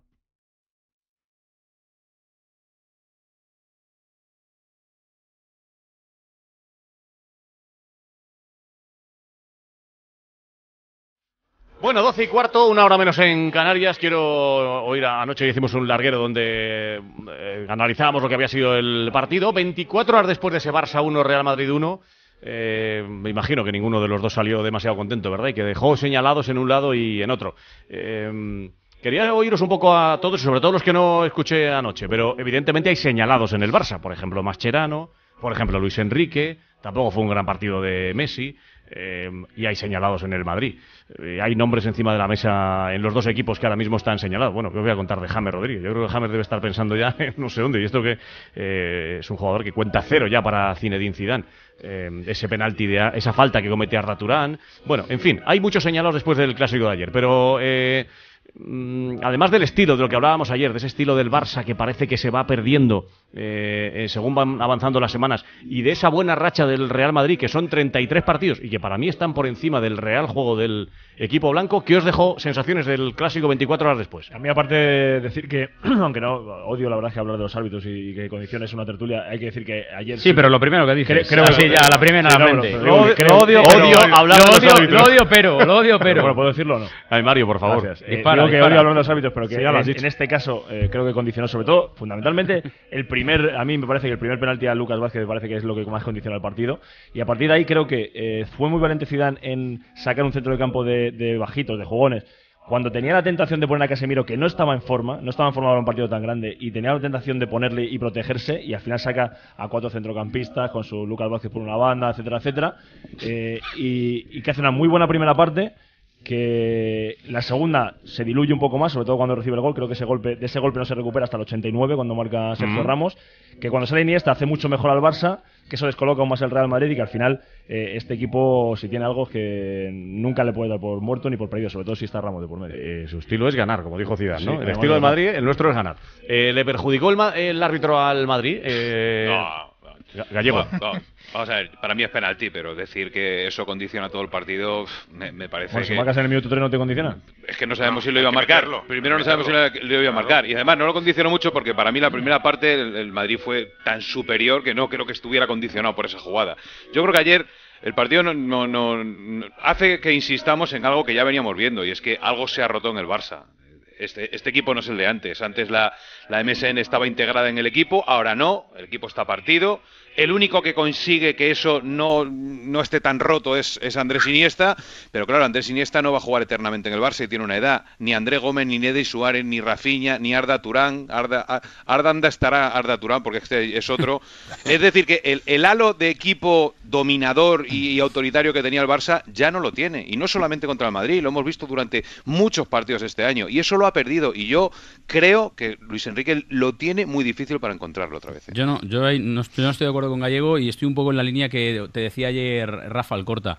Yo creo que no es que el Barça cambie su estilo, yo creo que el problema del Barça es que hay jugadores que no están en forma. Estoy de acuerdo que, el equipo está partido, pero no está partido porque Busquets lleva un año que no es eh, Busquets, porque Rakitic ha pegado un bajón descomunal, que era un jugador muy importante, y creo que ahí le perjudicó que siempre ha sido el primer cambio para Luis Enrique, que ha estado entrando y saliendo, y creo que al final se ha quedado más fuera que dentro. Y es verdad lo que decía Gallego, y ahí estoy de acuerdo con él, con, lo de Andrés Iniesta, pero yo creo que es un problema de forma de futbolistas. Creo que futbolistas que no están en forma, creo que Luis Suárez eh, no la mete como la metía el año pasado, eh, ni mucho menos. Creo que el centro del campo tiene problemas y luego que atrás, el Barça siempre ha tenido problemas atrás, pero bueno, con lo de arriba lo, lo sujetaba y ahora no y, ahora creo que no es la no es la situación y no se está dando. Yo, yo creo que ese melón es el que se va a abrir en Barcelona, Marcos y Jordi, si no se ha abierto ya. Eh, lo de este Barça que yo decía anoche, que, parece que le queda solo el último moicano, que se llama Andrés Iniesta, que sale y le ilumina la cara a todos y que cuando no está Iniesta pues, parece que se ha perdido algo y por eso hay tanta Messi dependencia, en mi opinión. Pero yo creo que el debate es por el, Barça está jugando así porque no por la baja eh, forma de los jugadores que dice Tala o porque Lucho no cree mucho en esa idea. No, no, por supuesto. Eh, ¿Sabéis cuántos goles han metido los, los del Teniente en este último mes? No, uno, bueno, Suárez uno. No, no, no, siete goles en seis partidos. Eh, siete goles en seis partidos. Es decir, a mí me parece muy bien hablar y debatir sobre el estilo porque tenéis toda razón del mundo, pero cuando Neymar está solo delante de la portería no hay estilo que valga. Es decir, Neymar la tiene que invocar. Si no la invoca, al menos que vaya entre palos, ¿no? Que, que, no la tire a segunda gradería. Y ahí, en ese momento, el Barça eh, tenía el partido controlado. ¿Qué ocurrió? Que para mí ayer el Madrid perdió una gran oportunidad de matar al Barça, especialmente en la primera parte. Porque la primera parte era el Barça más triste, más plano, sin Iniesta, con un Messi enredado, con un, con un Neymar que se resbalaba a cada momento del partido, con un Suárez obcecado al cual Barán le ganaba todos los duelos individuales. Y a partir de aquí el Barça se reconstruye con la presencia de Iniesta. Dicho esto, a mí me parece, insisto, que cuando se llevan todas las portadas los del Tridente, toca decir ahora que los del Tridente no están bien. Y como este equipo está construido en lo bueno y en lo malo, en la salud y en la enfermedad, para el Tridente, cuando no están bien, pues te pasa eso. Que Claro, llevas... pero, pero cuando están bien maquilla los, los defectos de ese Barça. Evidentemente que lo maquillan. Cuando, Claro, eh, claro, quiero decir, claro, ese- cua- esa- claro, esas claro. carencias de centro del campo, lo que Sí, hace la MSN cuando marca es, eh, es evidentemente cuando tú tienes maquillarlo, este- maquillarlo. Claro, claro, claro, cuando tú tienes este equipo y estos tres tipos ahí arriba que son tan buenos, pues te maquillan todo, como le puede pasar al Madrid con, eh, con Cristiano, con Bale o con Benzema. ¿Y qué ocurrió ayer? Que la primera parte es de Modric y la segunda es de Iniesta, ni más ni menos. Yo voy a enganchar ¿Sabes con lo que pasa? A ver, ¿Sabes eh, dale, que Romero, pasa, dale, Romero, luego pinto. Que cuando marcaba el Tridente 20 goles en los últimos seis partidos, lo que decía la gente y lo que se decía en Barcelona es que Luis Enrique le había dado eh, una que es opción verdad, B. An- Antonio, es, es verdad que es una opción B y una opción C, pero que No, no, no, no, yo creo, no, no, yo creo que la opción, eh, el Tridente siempre desde que está Luis Enrique, o en las últimas, eh, sobre todo en la temporada pasada y esta, es la opción A. O sea, la opción, lo que pasa Claro. que tú, tú, lo- La Marcos, tú la B y C. Tú lo has explicado muy bien. Eh, lo único que te falta, eh, yo creo, poner más énfasis en el matiz, que es el que decía Gallego, que el Barcelona ya juega otra cosa. Porque no es una cuestión de Es que se futbolistas... pero no, no, pero es que no juega ahora, perdona que te interrumpa y muy breve, no juega ahora a otra cosa. Desde que está Luis Enrique está jugando No, a otra cosa. no No, estoy de acuerdo, no se no, no, No, no, no, no, no no, se no, no, no, no, no, no, no, no. ¿Cómo que Hace- no? hace dos Xavi- años- No, no, perdón, Xavi era suplente con Luis Enrique. Bueno, ¿O no lo recordáis? Hace dos Porque años, Rakitic hace era dos titular. años con, con el Tridente el Barça jugaba bien al fútbol. No, sola- no solamente Pero no era el goles, mismo estilo, no pero era el mismo jugaba estilo que- bien, ahora no no juega era bien. el mismo estilo, Mm. no era el mismo estilo, pero era un estilo parecido. Y sí Es que es. Verdad que en ese primer año de Luis Enrique la transición hacía pensar que Luis Enrique estaba barnizando el, el- el modelo del Barça. Lo que ha hecho Luis Enrique no es barnizar, ha tirado la casa. Pero yo Ah, creo que la, no. la Pablo propia, Pinto. la propia diferencia se, se ve ayer en los 30 minutos de Iniesta. Si es que Claro. eh, estáis los dos en la misma línea, lo que pasa que Iniesta es el último eslabón que queda de ese fútbol y ayer mete tres pases al hueco, una a Neymar, otra a Messi, que si lo meten se acaba el partido. La diferencia es que Messi, eh, Iniesta, perdón, no ha estado en estos meses, en estas semanas y por eso se ha agudizado todavía mucho más lo- la tridente dependencia, por llamarlo así, que sobre todo es Messi. Pero si está Iniesta, todavía queda ahí un último esbozo de aquel fútbol, como se vio ayer cuando el Barça pudo matar el partido. De todas formas, decía Marcos una frase que eh, yo con el paso de las horas cada vez estoy más convencido. El Madrid dejó escapar una oportunidad, Sí. no de irse a nueve puntos, que es evidente, sino, no, de, no, de- sino, sino de de- crear una crisis. es- eso es, que eso eso, a estos niveles es la leche. Era, era lo segundo que yo iba a decir, que el Madrid en la primera parte estuvo bien, pero ni mucho menos estuvo súper. Si el Madrid en la primera parte está súper, le pasa por encima al Barça. Crear, un- Julio, crear una Julio. crisis, perdón, Pulido, que- crear una, una crisis a estos niveles es, es fantástico. En, el, en el eterno rival, pues empieza a dudar el entrenador del jugador, los jugadores del compañero que no baja, el tal, no sé qué, y es pues, No, lo es- del Kevin son- Roldán son dos o tres esto pu- de hace son- dos son dos o temporadas. tres puntos más en la clasificación, Se, se ¿eh? la creó la, más que se- tres puntos. se la creó la Real con el tema de que era Eusebio el que le había dado el baño jugando al fútbol. Si además el Madrid le hubiera rematado, Pues imagínate el Madrid. imagínate, Julio, Claro. decía. Sí, yo, yo solo quiero decir, a mí no me gustó el partido de ninguno de los dos. Hmm. O sea, yo creo que los dos están muy lejos de su mejor versión. Eh, el Barça mucho más lejos que el Madrid, sin ninguna duda. Eh, pero aún así pudieron ganar cualquiera de los dos, ¿no? Porque si hubiesen estado acertados, hubiesen ganado cualquiera de los dos. Yo metería eh, algún señalado más en esa bolsa que estáis creando de señalados. Positivos, Ramos e Iniesta, sin ninguna duda. Pero negativos, Messi en el Barça desaparecido completamente y en Madrid también metería en ese saco a Benzema Creo que hay un debate ya muy abierto sobre si Benzema debe seguir siendo el 9 del Real Madrid. Y estamos volcando mucho el debate en lo mal que está el Barça, que está mal, sin ninguna duda y lejos de, de su mejor versión, como decía, pero yo creo que el Madrid desaprovechó, como decís, una oportunidad eh, tremenda Sí. de, de meter en una crisis profundísima al Barça, de sentenciar la liga a nueve puntos y lo desaprovechó. Y no solo desaprovechó, sino que pudo terminar perdiendo el partido. Y es increíble que el Madrid, con la primera parte que hizo y con el Barça que tenía enfrente, pudiese haber ido de este partido Sí, perdiéndolo. Ese, ese es el primer, ese es el primer síntoma que demuestra que el Madrid, para mí, está por encima sus números de su juego. Porque eh, Sí, ante sí. un Barça tan ramplón como el de la primera parte, no pudo, no tuvo la, la, eh, la- la, eh, la valentía de decir voy a por ti, porque estás, estás, estás irreconocible. Pero es verdad que los dos tienen momentos buenos, pero tienen lagunas importantes. Sobre el tema de Benzema, es verdad que el run run va en aumento. Fuera y dentro del equipo. Lo, ¿eh? lo de Benzema es un canteo. La suerte que tiene Zidane es que Morata está lesionado y que no hay ahora mismo un debate eh, partido a partido, entrenamiento a entrenamiento de cómo está de mal Benzema y de bien teóricamente Morata. Eh, es cierto que, que los compañeros que le ven entrenar, o mejor dicho, que no le ven entrenar, porque cada vez entrena le ven- menos- le ven no entrenar. Que le ven, no- que le ven en la ciudad deportiva no entrenar. eh, no voy a decir que se lo tomen a risa, pero casi. Que lo de Benzema es un trato de favor de Zidane al delantero francés es un hecho en el vestuario del Real Madrid. El problema es que no se lo está devolviendo, porque si tú pones a uno por decreto y de vez en cuando te salva la cara, pero no tiene demasiada explicación que haya apostado de una manera tan tajante por Benzema y que tenga señalados una serie de futbolistas que no juegan pase lo que pase. Ayer a James, tú lo has comentado, le pasó por delante Mariano, que posiblemente se lo merezca, que Mariano se lo merezca con Sí, la semana claro, que ha hecho. Yo soy James y digo, Pero- si ya sale Mariano antes que yo Claro. en el partido en el Camp Nou. O sea, te- Bueno, voy a casa, justo- voy a ir haciendo la maleta y me voy a marchar en esta- enero se fue a- mañana. Se fue a Valdebebas a entrenar, parece, ¿no? Claro, pero que, que es justo lo que está pensando. eh, que que lo, lo normal es que se tenga que ir mañana. Mañana no, porque al final el Madrid está pendiente de, Sí, de pues si no le van a dejar, no, y no le van a dejar probablemente, ¿no? Tendría Pero- que volverme a hacerle la normal. Pregunta a Zidane de eh, Sí. si fueras si Sí. fuera James te irías del Madrid. Igual ¿sabes Zidane por ya ha qué cambiado de opinión, ¿eh? ¿Sabes por qué mete Zidane a, a Mariano y no a James? Por cierto, yo estoy totalmente de acuerdo con lo de Benzema. Lo de Benzema me parece que la mejor manera de definirlo lo ha hecho Meana, es un canteo. O sea, yo, eso ya no va no va más, más para allá.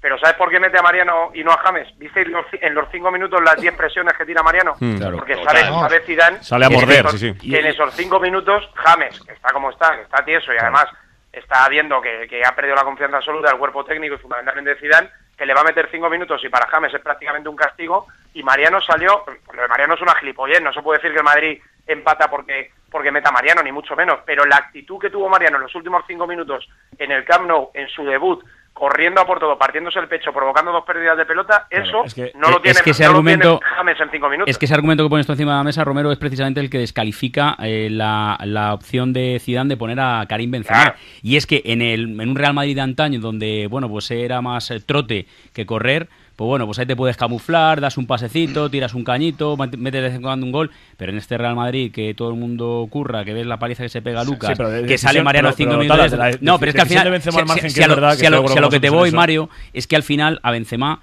ahora ya no hay por dónde cogerlo el tema porque ahora se le ven las costuras totalmente. digo- pero hay una que- solución que, muy fácil Julio, al de- asunto. decisión de Benzema al margen, que, que es verdad y estoy de acuerdo con No, no, vosotros. pero yo digo, por cerrar lo de Benzema, que hay una solución muy fácil. No ponerlo en el banquillo. Ya está. Hmm. Es que este debate, que pasamos semanas y semanas hablando de lo mal que está Benzema, Se alarga, y tal, se alarga, efectivamente, y no Morata cambia, no está ahora porque está lesionado, pero esto se acaba muy fácil. O sea, al igual que ha tomado la decisión de poner a James en el banquillo, que me imagino que la habrá tomado porque le ve entrenar y no le ve para jugar en el Real Madrid, puede tomar perfectamente la decisión Sí, de sí, poner el banquillo a Benzema. en el caso en el caso de Mariano el los jugadores son distintos son distintos perfiles James y Mariano evidentemente tienen un perfil muy diferente pero en el caso de Marco Asensio que salió antes que él eh, el perfil es muy similar y aún así saca a Marco Asensio porque sabe pues eso lo que decía Romero que en la presión que van a morder lo que necesitamos en ese momento el equipo recuperar el balón rápido para intentar marcar goles pero digo Mm. que decisión de Benzema al margen que estoy de acuerdo en este momento es muy injusta con el resto de, de compañeros que está Zidane tratando de que coja la forma física que yo creo que no está cogiendo ni parece que vaya a coger Benzema en, la- en las próximas semanas y lo está tratando incluso eh, haciendo cometiendo injusticias como esa digo que es un tipo eh, más o menos justo y que no tira piedras sobre su tejado es que, necesitaba a Mariano en ese momento necesitaba a Marco. Asensio en ese momento y sobre todo necesitaba a Casemiro que a mí me chirrió mucho el cambio por Isco que yo pensé que era una equivocación No lo entendimos nadie. vamos. lo pensé hasta el minuto 93 y en el minuto 93 cuando sacó el balón debajo de los palos Casemiro dije mira Sí, al final- final- final- final- final- final- bueno, pero puedo- todo pensado. ¿puedo hablar yo o habláis vosotros por mí Venga, habla tú, habla tú. Digo que, digo que, que- que hasta, hasta las decisiones más equivocadas que. El tema de los árbitros no pero, digo pero digo que, que hasta las decisiones que te pueden parecer más equivocadas, al final, sí, que con. Zidane, tienen eh, una justificación, aunque sea solo una. Y- y pero, pero una justificación de minuto 93, venga. Sí, eh, y además, pero, pero, Bueno, pero- pues si no pero- te vale, pues no te vale, pero una sí. cosa, pero con respecto a Zidane, eh, lo de lo de Benzema se puede discutir y es discutible mucho, eh, lo que queráis, pero creo que Zidane en su haber tiene que ha conseguido mezclar a esos jugadores de segunda línea que parecen ya de primera. Kovacic, Isco, Nacho, eh, Lucas Vázquez, o sea, son jugadores que ya los ves y no te sorprende. Y una cosa muy importante, no te sorprende, porque se han ganado ser titulares. Es verdad que no, puede contentar a importante. 23 tíos, pero a estos tíos les ha metido en el equipo titular, Una dejando en el banquillo a estrellas. Eso es. que nos cuesta mucho darle bola a Zidane. No miro a nadie, aunque uno está por ahí por Pozuelo, creo. Nos cuesta mucho darle bola a Zidane, porque Zidane, repito, es ¿Dónde un tío educado, se pone, se pone delante del micrófono y no se da importancia, considera que el vestuario está siempre por delante de él, habla siempre del nosotros y nunca del yo, y no, no estamos demasiado, no hemos estado demasiado acostumbrado a ese tipo de entrenadores en el Real Madrid y el mérito que tiene Zidane con esta plantilla en la que el 85%, lo entienda la gente o no, es gestión de vestuario y el resto, el 15%, decisiones tácticas, tener a la plantilla bien entrenada físicamente, pero el 85% es gestión de vestuario, lo que está haciendo Zidane es de chapó. Do- y solo quiero añadir un nombre que se nos está olvidando un poco en la tertulia, y me gustaría escuchar a alguno hablar de él, solo quiero añadir un nombre en este eh, Sanedrín de domingo que paraliza la radio mundial, y es el de Sergio Ramos. Déjame que, hablamos, déjame que hablamos de Ramos, que hay que hablar de él, por supuesto. Doce y media han sonado los, las señales horarias, una hora menos en Canarias. Hoy había eh, referéndum en Italia, reforma de la Constitución.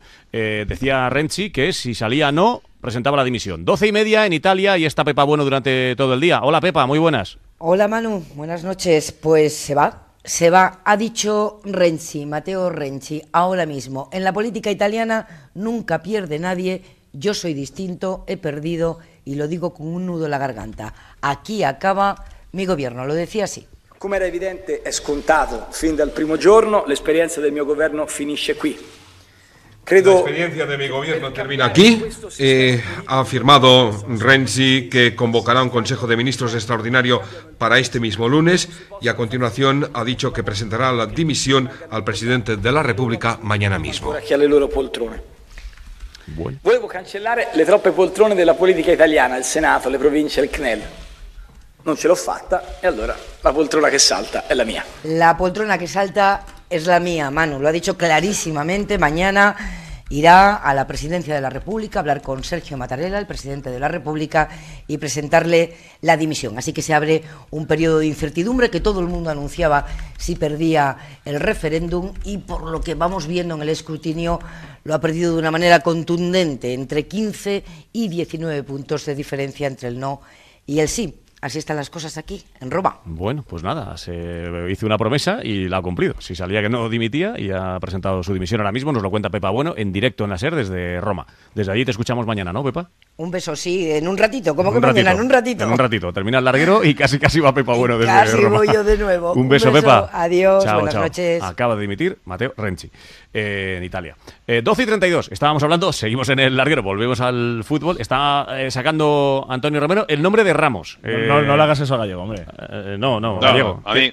Bueno, eh, eh, antes de Si lo de quieres Ramos- colgar este rato, Gallego. Ahora- A ver si espera, dimite, a no, ver no. si dimite. A- a- Ahora vamos al populismo. Puedes dimitir, Gallego. Como cuando marca Cristiano para Pablo Pinto. Me de- Eso eh, es un Torrejón, Torrejón. Por cierto, qué elegancia que no lo he sacado, pero bueno, dejadme, sigue. Dejadme. A ver, Eh, Gallego. Ahora hablamos del populismo de lo de Ramos, pero.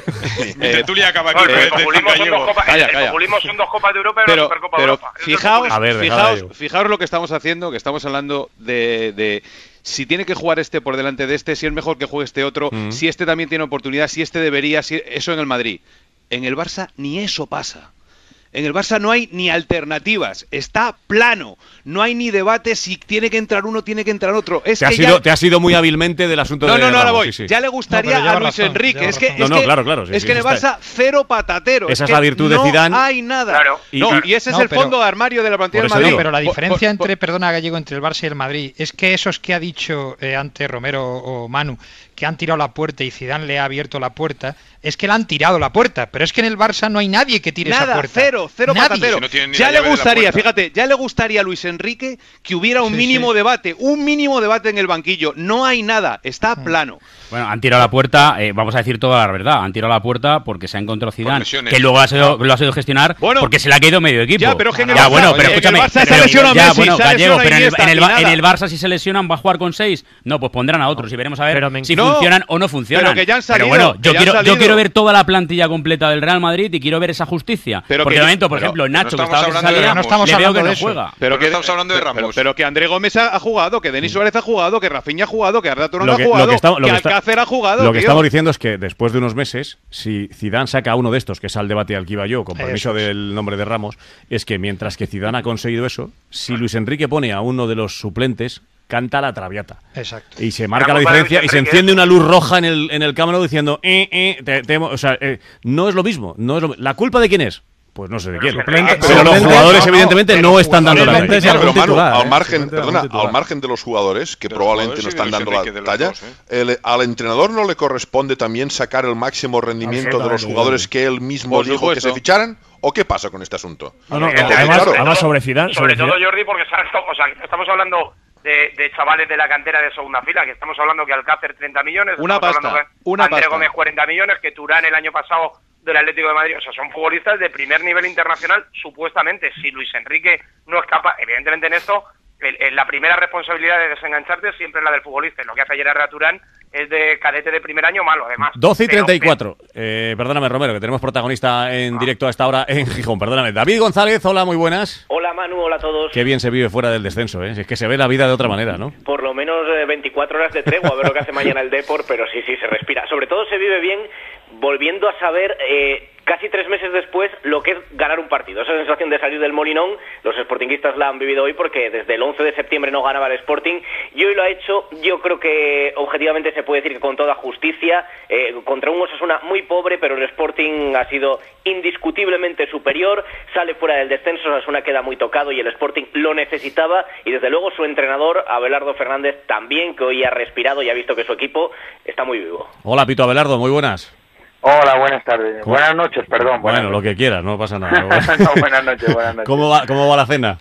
Bien, ¿no? Bueno, acabé, no, no, ¿Has acabo de acabado? llegar a la Vale, casa vale. ahora mismo. Ah, muy O sea, muy acabó, acabó, sí, estaba ahí con... Nada, Con mi amigos, con familia. con- no, con mi segundo preparador físico. Ah, vale, vale. O sea, con Gera, niñas, las mujeres y unos amigos y bien, bien, todo Muy bien. bien. Qué bien se va a cenar la gente, te, te mira de otra manera la gente por la calle. Vamos, Pitu, qué bueno eres, ¿no? Cuando ganas se nota la diferencia, ¿eh? Bueno, bueno, normal, normal, la verdad que muy bien, muy bien. No, la ver- no, no puedo decir, a pesar de que, mira, que llevamos estos 10 partidos, que eran muchos partidos sin ganar, la gente, la verdad que por Gijón siempre me ha mostrado muestras de cariño. No puedo decir nada en ese aspecto, sino todo lo contrario, me he Mm. sentido muy querido siempre. Mm, Quitando algún periodista que te calienta de vez en cuando, los demás todos te. No, vaya vaya no, calentón que te pillaste, ¿eh? Sí, sí, sí, sí, la verdad es que sí, la verdad es que sí. Eh, la verdad que, bueno, eh, el viernes el otro día pedí excusas, Sí, eh, sí, sí. tanto al, bueno, al diario, que sobre todo me equivoqué en la expresión, al diario Marca y a él personalmente. Pero bueno, no, no en el fondo, ¿eh? No en el fondo. Yo creo que evidentemente a vosotros os pilla, os pilla lejos ahí en Madrid, pero sí que ha sido dos años de, de bueno, de sacar noticias falsas, eh, perjudicando al grupo y sobre todo no hablando para nada de, de cosas tácticas o técnicas o de Mm. alineaciones o de forma de jugar el equipo, que eso cada uno puede tener su, su opinión y eso lo acepto, sino ya metiéndose ya en cosas ya que no tenían nada que ver, sacando mentiras e incluso, pues bueno, eh, hasta en un momento decir que yo, porque salió en su momento como que yo era mala persona porque había dejado marchar a un jugador en diciembre, ¿no? Ya cuando, cuando ya te hablan te hablan de esas cosas, pues llega un momento que no es excusa porque no tuve que ponerme así. Pero bueno, eh, O todos sea, que pediste, pediste y- disculpas por, por, eh, por cómo lo, lo dijiste, pero crees que hay una persecución contra ti ahí. No, Que no te contra toca- mí, que- pero- sí. Vamos a ver, eh, Manu, eh, yo cuando yo creo, yo creo que, que igual que yo el otro día dije que era unos impresentables, que me equivoqué, porque no conozco a esas personas, no pueden decirme a mí que yo soy mala persona, por ejemplo, cuando tampoco me conocen a mí, Hmm. porque yo en un momento dado decido que un jugador se tenga que ir en diciembre, el año pasado, en enero. Yo creo que, bueno, que pasa, había unos intereses creados con respecto a ese jugador que tiene amistad con esa emisora, etcétera, etcétera. Pero a mí no, yo creo que es totalmente injusto que a mí me digan que sea Ya. mala persona. No, no, no tiene nada que ver con el fútbol, ¿entiendes? Hmm. Yo, yo, creo, que- yo creo que te equivocaste y así lo dije y creo que, Sí, sí, y sí, creo que te pasaste duda. tres pueblos. Así lo- y sobre todo cuando dijiste lo de no eres sportingista, porque yo entiendo que no hay que ser sportingista No para preguntarte en una rueda No, no, prensa, no. Vamos a ver, Manu. eh, yo soy el primero que me equivoqué, eh, que, que pedí disculpas cuando después me vi en la rueda de prensa, como me pasó el día de, del año pasado en Granada, cuando hablé del árbitro. Con los igual. árbitros, sí. Soy una persona, la verdad, que tiene ese pronto, pero yo creo que, bueno, que, que tengo una virtud también, que cuando soy muy Aries, en ese sentido, soy muy cabezón, pero pero se me pasa el calentón y sé pedir perdón y me he equivocado y punto, y le pedí perdón Pues a, a él, al diario Marca y, y bueno, y no volver a suceder. Tema, tema zanjado. Eh, se agradecen esas palabras de- del Pito Abelardo también. Eh, hoy, hoy bien, ¿no? Con Joy, cómo está Carmona, ¿eh? Que ha metido ahí. La, la has puesto hoy y se ha salido el chaval, ¿eh? bueno, Ha metido el primero, el tercero. Sí, el otro día jugó contra el Madrid, que metió un gol. Pues bueno, eh, yo creo que Carmo no había entrado en el equipo y, bueno, eh, se lo ha ganado, ha entrado otra vez y la verdad que estos tres partidos, el día del Madrid hoy el día el otro día del martes contra el Eibar, a pesar de haber perdido, eh, hizo un buen partido y bueno, y he considerado oportuno de ponerlo y, y no hay más. eh. Yo creo que para eso está una plantilla de, de no siempre hay una alineación fija. Carmo es un gran profesional que entrena muy bien, que ha esperado su oportunidad y que ahora se la ha dado el entrenador y la ha aprovechado. Mm, Oye, y, y Douglas bien, ¿eh? Pues bien, bien. Yo creo que es un caso que es un chico que, que bueno, que, que también creo que ha recibido críticas injustas por, mm, bueno, por lo han criticado sin, sin conocer eh, cómo, cómo era su juego. Ha necesitado un periodo de adaptación, a- evidentemente, a, a lo que es el club, a lo que es la forma de entrenar nuestra, que evidentemente no tiene nada que ver con la del Barça. Y bueno, es un chico que seguro que nos va a aportar muchas cosas en el Sporting. Bueno, pues nada, aquí estábamos en plena tertulia. Digo, vamos a llamar al Pitu, hombre, para felicitarlo. Lo mismo que un día te damos un palo, otro día te. está- Madrid, estamos estaba criticando a Luis Enrique, a, a- a Luis Enrique, que le, le pegan unos palos aquí estos que no veas, eh, Pitu. bueno, hombre, a todos nos pegan palos, no hay ningún problema. Para eso estamos, somos entrenadores y, y esto es el mundo del fútbol, que, que cada uno tiene su visión. Yo creo que es lo bonito del fútbol, Pero- ¿no? pero- saber analizar las cosas y no tiene que parecer mal a nadie. A Lucho esto no le afecta mucho, ¿eh? que tú le conoces bien. Yo creo que no. bueno, seguro que no, te lo puedo asegurar. ¿Has hablado con él después del clásico?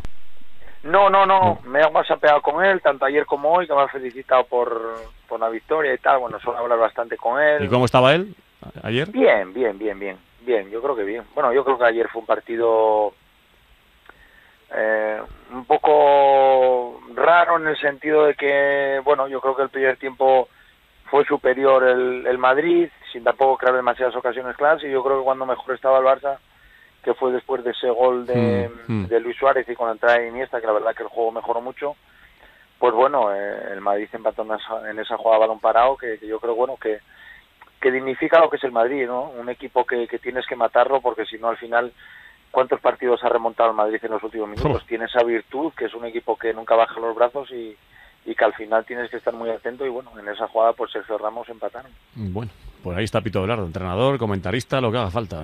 Es, es lo, que, lo, que, lo que necesitemos. Que dure mucho esa posición de estar fuera de- del descenso, Pitu. Ojalá, ojalá sea así, por mi salud y por la del Sporting. Y no te calientes más, ¿eh? No te calientes, Pitu. No, no, te seguro calientes. que no. Muchas gracias. Un abrazo, anda. Un abrazo a todos. Hasta luego, gracias. entrenador Adiós, del adiós. Sporting en directo en el larguero. David, eh, como tú decías, por lo menos 24 horas de tregua y tres puntos que dan un balón de oxígeno, ¿eh? Sí, a partir de ahora esperemos que se hable de fútbol y solo de fútbol en el entorno del Sporting, que bastantes historias ha habido en este inicio de temporada. Un abrazo, David. Un abrazo, adiós. Hasta luego. Pues ahí estaba el Pitu Abelardo. Hombre, y que gracias a David, hoy, Manu, le hemos escuchado la voz a Douglas. Yo no se la había escuchado. Es verdad.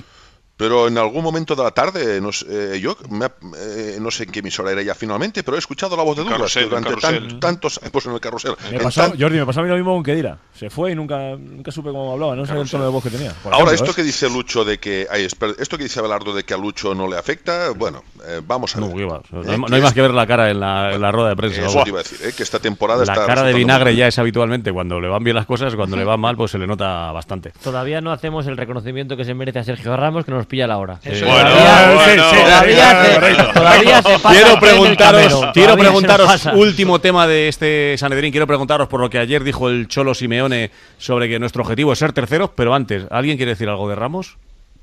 Yo creo que todos, ¿no? Venga. Que empiece Jesús y luego seguimos el resto. Sí, sí, yo Bueno, creo que, que yo, debe yo- ser gallego. yo- yo voy a decir, voy a decir A ver, que, Ramos, eh, antes de que Ramos estuviera en el Madrid, el Madrid ya remontaba partidos en los últimos Claro, minutos. exactamente igual que con Mourinho, pero Claro. tú decías que era por él. Eh, La y, diferencia. y creo que eh, hace muy bien Ramos. Me encanta cómo sube con el ímpetu que va al, al remate. Me parece fantástico. Pero creo que decir que el mejor jugador del Madrid ayer fue Sergio Ramos. No, que no es una mejor fue- cuestión de el mejor fue. Modric. Déjame, déjame. Gallego, Es saber no una cuestión- es no saber- mejor, pues es que déjame veo- que hable, déjame que hable, ¿no? es que veo que sigue nos tiráis. es que estar cerrado y sigue Porque sin entenderlo. el mejor fue Luka Modric, que dio una demostración de fútbol en la primera, en la segunda parte, e incluso en el gol de Ramos, que la pone magníficamente. No, y que es central. Y, y- sí, pero y que todo el debate es que va muy bien al remate, que marca el minuto 93 y tal cual, pero que es central y que tiene que hacer de central y no siempre hace bien de central. A ver, Romero. No, pero casi que- siempre. eh, yo creía que un día como hoy eh, la gente lo iba a terminar de, de entender. Yo escuché a Zidane en la rueda de prensa ayer cuando le preguntaron por Ramos. Cuando le preguntan a Zidane por Ramos, eh, no habla de qué buen central es, qué bien la saca con la izquierda, cómo, la pega, cómo le pega con la derecha, cómo va por arriba, no. Lo que dice Zidane es, no me sorprende nunca, él es así, tiene esa personalidad, que es lo que se necesita para ser el líder del Real Madrid. Evidentemente el mejor ayer en el campo fue Modric. Hizo un partidazo en la primera parte Lucas Vázquez. Mm. Pero el entrenador, cuando tú eres Zinedine Zidane y eres el entrenador, sabes que si necesitas o si vas a ganar o a empatar en el, en el Camp Nou, Sergio Ramos tiene que estar en el campo. Y luego mm, hará, te recuerdo que Sergio Ramos ayer pierde dos, tres pelotas, una de ellas comprometida en la segunda parte, en una de esas acciones sobradas que tiene Sergio Ramos, que a veces se confía demasiado. No estamos hablando ya de la calidad, que creo que no está en debate. Muchas veces a Sergio Ramos se le niega el pan y la sal. Dice, tendría, no tenía que jugar. Sergio Ramos está fuera de forma. Sergio Ramos juega porque es Ramos. No, Ramos juega porque es el Madrid. Y porque su entrenador sabe que la personalidad, y por decirlo en plata, las pelotas que tiene Sergio Ramos no las tiene ni un solo futbolista en ese vestuario. Intuyo que Jordi quiere añadir algo. no, simplemente si también eh, Ramos o Modric le han enviado un bonito jamón a Arda Turán. ¿Por qué? No está contento Jordi con Arda, por lo que sea. Hombre, perdona. Eh, la falta que hace Arda Turán, que es la que propicia el gol del empate del Real Madrid, es de los gestos más, de las jugadas más tontas que se le no pueden está- es de no estar centrado en el partido que está jugando. Perdona, no es la primera vez, Manu, ¿eh? Ya son varias veces que este jugador sale totalmente empanado. Hmm. Ya le pasó contra el City, ya le pasó contra el Real Madrid la pasada temporada. Hombre, yo creo que un jugador hacerle una falta a un tío que está de espaldas, sabiendo que Ramos, creo que tú dijiste ayer que ya son cuatro las ocasiones sí, sí. en las que marca minuto 90, pues hay que estar un poco más concentrado, ¿eh? ¿Pero tú crees, Jordi, que es necesario quitarle segundos a, a Ramos para dárselos a Turán? Yo creo que no. Bueno, o sea, creo que estamos desperdiciando, Si creo que estamos desperdiciando segundos. Es que lo ha dicho Romero. Como está por teléfono parece que no queda claro, pero es que Sergio Ramos es el Real Madrid. Sí, es pero- que es el Real Madrid. Hay que decir una cosa, eh, no, que empezaba a haber una corriente en la que se empezaba a faltar el respeto, yo creo que a Sergio Ramos. A diario. ¿Pero qué falta? ¿Pero qué falta de A respeto? diario. Sí, sí, Una campaña a ver. tremenda, Os, os sí. llenáis Había- la boca con lo de la corriente- falta de respeto. había una pero- corriente que A ver, empezaba a Julio. faltar el respeto a. Sergio ¿Qué pasó Ramos. con ¿Pero esto? qué le han dicho? empezaba a ¿Qué le- dudar ¿Qué le han dicho? A ver, ¿qué le han dicho? Hombre, se, ha, se ha dudado de si debía de ser titular o no en el Real Madrid. Yo sí, yo sí, yo sí. Yo, no, sí, no, sí, a Pulido. Me parece- eso- que es algo histórico, que es algo histórico. Sí, es- O sea, se ha renovado este año hasta el al, al apuntador de la Sí, puerta que si 47, pedía mucho dinero, que si Claro, pedía mucho dinero. Vais a terminar haciendo otro casillas de Ramos. No, hombre, no, pero- renovó a Ramos, no, no, ¿sabes lo que pasa? Han pretendido, incluso desde dentro del Madrid, Sí. en algún momento, ¿Quién, quién, hacer, quién? hacer de Ramos otro Casillas, pero tienen un problema, que Ramos no es Casillas. Lo que es alucinante es que hoy sería un día pero- para estar Julio, acaba. Pero sí que creo que, que es, es bueno decirlo públicamente, decir que había una corriente que quería desprestigiar a Sergio Ramos y que, Denunciarlo. y que creo Pero que se hay que se- decirlo pero se podrá decir que públicamente. su rendimiento no ha sido bueno. Escúchame, y que creo que Pero hay que decirlo públicamente y que no creo, que cosas, comparsa con co- Godín, hombre. que cosas como la de ayer, No, Godín no- bastante mejor, vamos. Vale, que cosas como la de ayer, que no es solo eh, empatar el partido en el minuto 90, no es solo eso, sino es demostrar que el Madrid no se rinde hasta el último minuto y si hay Correcto. ¿Cómo alguien hoy, y si ¿Cómo hay alguien hoy? y si hay alguien que encarna esa, esa imagen es Sergio Ramos, creo que esta noche aquí en el larguero, que hasta ahora están escuchando muchas personas este programa, ahí. eh, sabes, creo que hay que decir que a Sergio Ramos no se le puede faltar al respeto. De todas formas, hoy que era un día para hacer que- que era un día para hacer trizas a Luis Enrique, a Macherano y estáis hablando de James, de Benzema, de si Ramos una campaña cuando el día debería ir por destrozar el- lo que está siendo Destrozar, el Barça. eh. Y, Ma- Destrozar, y eh. Marcos y Jordi han hablado dos veces. Oye, Hombre, perdona, esto está- que tiene- tiene una- Yo- tiene perdona, una perdona. No, no, yo hablo cuando me dan paso. No, no, yo hablo cuando me dan paso. No, eh. yo no interrumpo, afortunadamente. A ver, una Te voy a dar paso a las tres siguientes, Marco. Claro, por eso. O sea, o sea, aquí habrá gente que sabe más que yo y está hablando del Madrid, pues yo callo, aprendo y escucho. A ver, Jordi. No, es que tampoco se puede acabar con el Barcelona ni Hombre, a ponerlo todo a puntos, la ¿eh? hoguera. A porque, puntos. perdona, eh, yo también creo que pasadas unas horas tenemos que también ser optimistas con algunas cosas que vimos. más allá, Fundamentalmente con Iniesta, sí. más allá, el Bueno, mosaico. bueno, perdona, es Bueno, que no es poca broma. está- está Más allá- bailar los demás, te- es verdad. eh, El ¿te mosaico poco más allá de- ¿Te no, no, no, parece me, parece todo. Me parece Ah, todo. ah, Oye, no, no, más es que allá- Iniesta es mucho, ¿eh? de si la MSN está más o menos acertada, ayer hubo 15 minutos en los que sí vimos que de la mano de Iniesta, Messi crece, a Hmm. punto estuvo de, de- de meter un gol, Busquets crece, y por lo tanto yo creo que el mensaje es bastante claro. Hmm. Los distintos Barças que vemos en un partido, hay uno que ayer nos convenció y mucho en la segunda parte. Por terminar de contarle el traje a Luis Enrique, eh, en cuanto a, a repartir las culpas, yo, yo sí que se la, se he hecho mucho a Luis Enrique, porque cuando decíamos que eh, Zidane se quejaba de falta de intensidad y que no se ponía él por delante, que es el que tiene que sacarle la intensidad a sus jugadores, en cuanto a Luis Enrique es lo mismo. De hecho, eh, yo digo que seguro que te pueden, entrenadores como Mourinho, como Pep Guardiola, te meten en una presión que difícilmente soporta más de dos años, pero trabajaba ciertas cosas, ciertos aspectos que parece que Luis Enrique no trabaja. Por ejemplo, recuperar el balón arriba, que para un equipo como el Barça es fundamental. Y que ayer el Madrid, gracias a Modric fundamentalmente, sacaba el balón en la primera parte con una facilidad. Primera, tú demasiado la Bueno, bueno. Para, que, no, para que, no, para, que no, quede en el olvido lo que ha dicho Pulido. No, no va a quedar. No, no, no, ha quedado. ha quedado grabado. el único problema es saber Hoy no habla de Como siempre, Pulido, por este gol de Ramos. hoy no habla. Este gol de Ramos, ¿cuánta fecha de caducidad tiene? Es decir, ¿cuándo van a volver a matar a Ramos? una semana. Yo no dudo de este Barça, no dudo de este Barça. Está a 6 puntos, la liga no está acabada y este Barça tiene para mí a la mejor delantera del mundo. Lo que sí que creo es, que lo dije anoche, que se ha acabado una manera de ganar. No digo que el Barça vaya a dejar de ganar, el. Barça va a seguir ganando, pero yo creo que se ha acabado o se están consumiendo los últimos sorbos de una forma de ganar en el Fútbol Club Barcelona. Y eso no, pues ya veremos cuál es la siguiente. Pero de lo que hemos visto en los últimos años a lo que estamos viendo, parece que esa transición se va cumpliendo cada semana un poquito más. Y, y, y, la MSN, vamos, va a volver a ganar título porque son los tres mejores, sin ninguna duda. Yo creo que, habíamos subestimado a este No es el problema de la MSN, solo como decimos, Manu. Son más cosas, porque ahora que estamos hablando de defensa, miremos la defensa del Barça. Macherano, mm, sí, 32 años, no puede ya. Es que, es, que, es que da lástima ver cómo intenta agarrar a Cristiano Ronaldo porque llega tarde a todas. Se resbala. Eh, eh, Matié 33 tacos tiene. Uh -huh. Piqué tiene 29, cuidado.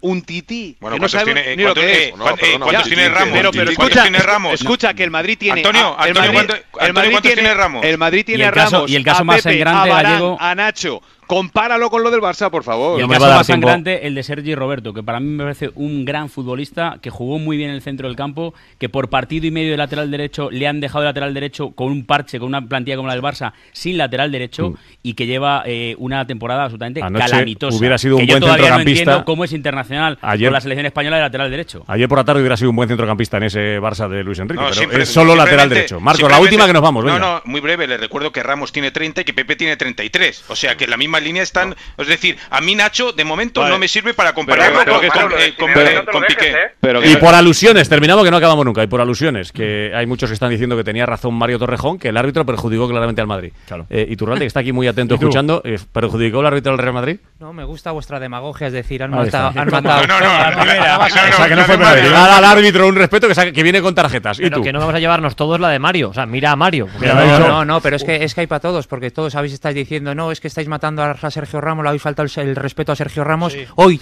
el 80% de los periodistas le falta el respeto a una persona que es Colos Gómez. Pero hombre, hoy, antes, del partido, antes del partido, antes del partido, antes del partido he leído cosas faltándole al respeto a Clos Gómez. Pero como es árbitro, después del partido como es árbitro, como es árbitro. No, pero escucha ahí tú una pregunta, ¿hizo un buen arbitraje Clos Gómez?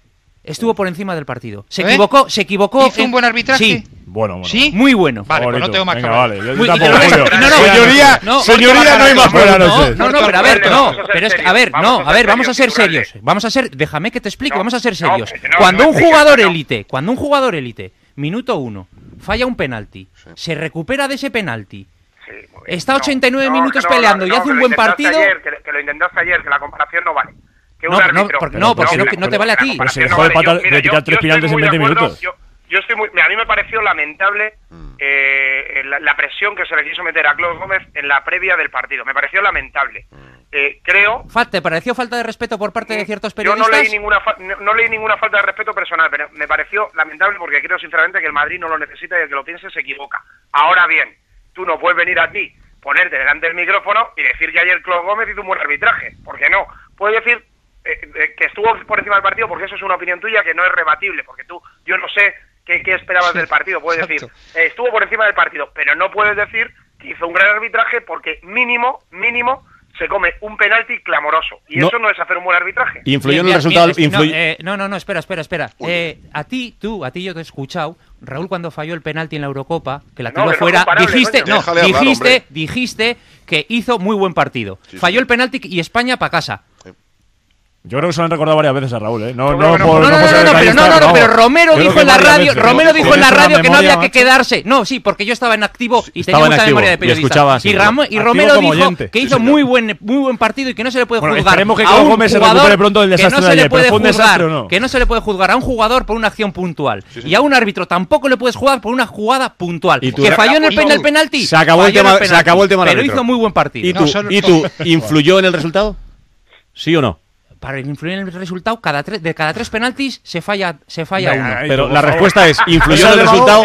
¿Influyó en el resultado? Qué bueno. ¿Para ti? que no se sabe. No se es sabe. decir, que no se Perfecto. sabe. Pues ya está. Favor. Cinco Esa- minutos para llegar a la una de la madrugada. Y, y la última, que es que os tengo que preguntar. Lo del Cholo. ¿Objetivo tercero el Atlético de Madrid?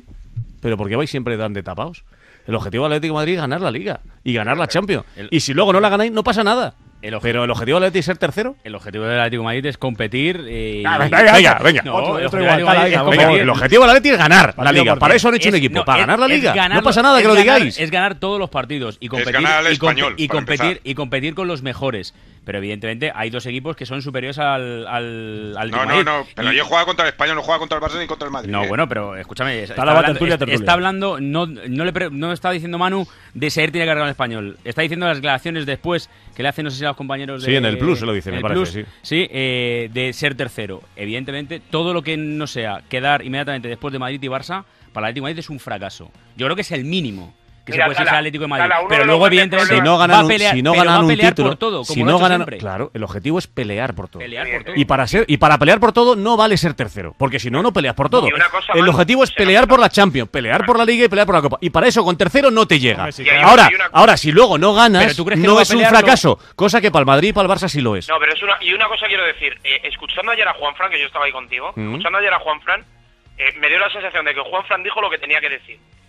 Eh, Y no lo que y no lo que creía. No, y no lo que no. creía. Eh, Porque lo que dijo es, seguimos al líder, no sé qué, no sé cuánto, porque yo creo que ya hay futbolistas ahí en esa plantilla que no tragan con, con- que con el hecho, no, tenemos que pelear por Claro, ser tercero. que yo estoy de acuerdo, que si, no ganan un título no es un fracaso. Pero, Romero, si lo han dicho, si, lo ha dicho Diego Godín, si lo ha no, dicho el capitán, veces- si lo han dicho muchos jugadores. Parece, a veces me parece que el Atlético de Madrid tiene una vara de medir muy diferente a la que tiene el Madrid y a la que tiene el Barcelona. eso es lo que quiero decís decir- vosotros. Quiero decir solo dos, sí, me refiero a la crítica periodística o a la exigencia periodística. Sí, lo digo yo, que soy esto el que estoy hablando. Creo que tiene una crítica periodística muy por debajo de la que tiene el Real Madrid y la que tiene el Fútbol Barcelona. Lo creo sinceramente. Hombre, es que la quiero- exigencia no es la misma. bueno, y quiero decir, quiero decir que, como te ha dicho Marcos, el Atlético de Madrid está desperdiciando este año una oportunidad para ir arriba en la liga, pero macanuda, porque lleva 8 de 15, 8 de 15 en el Campeonato Nacional de Liga y porque el Barcelona y el Real Madrid se están dejando puntos en esta liga que llevan años sin dejárselo los dos juntos en Primera División. Pinto y me voy. Pero si el Madrid no pierde desde marzo, desde abril, pero bueno, da igual. Que... No, pero es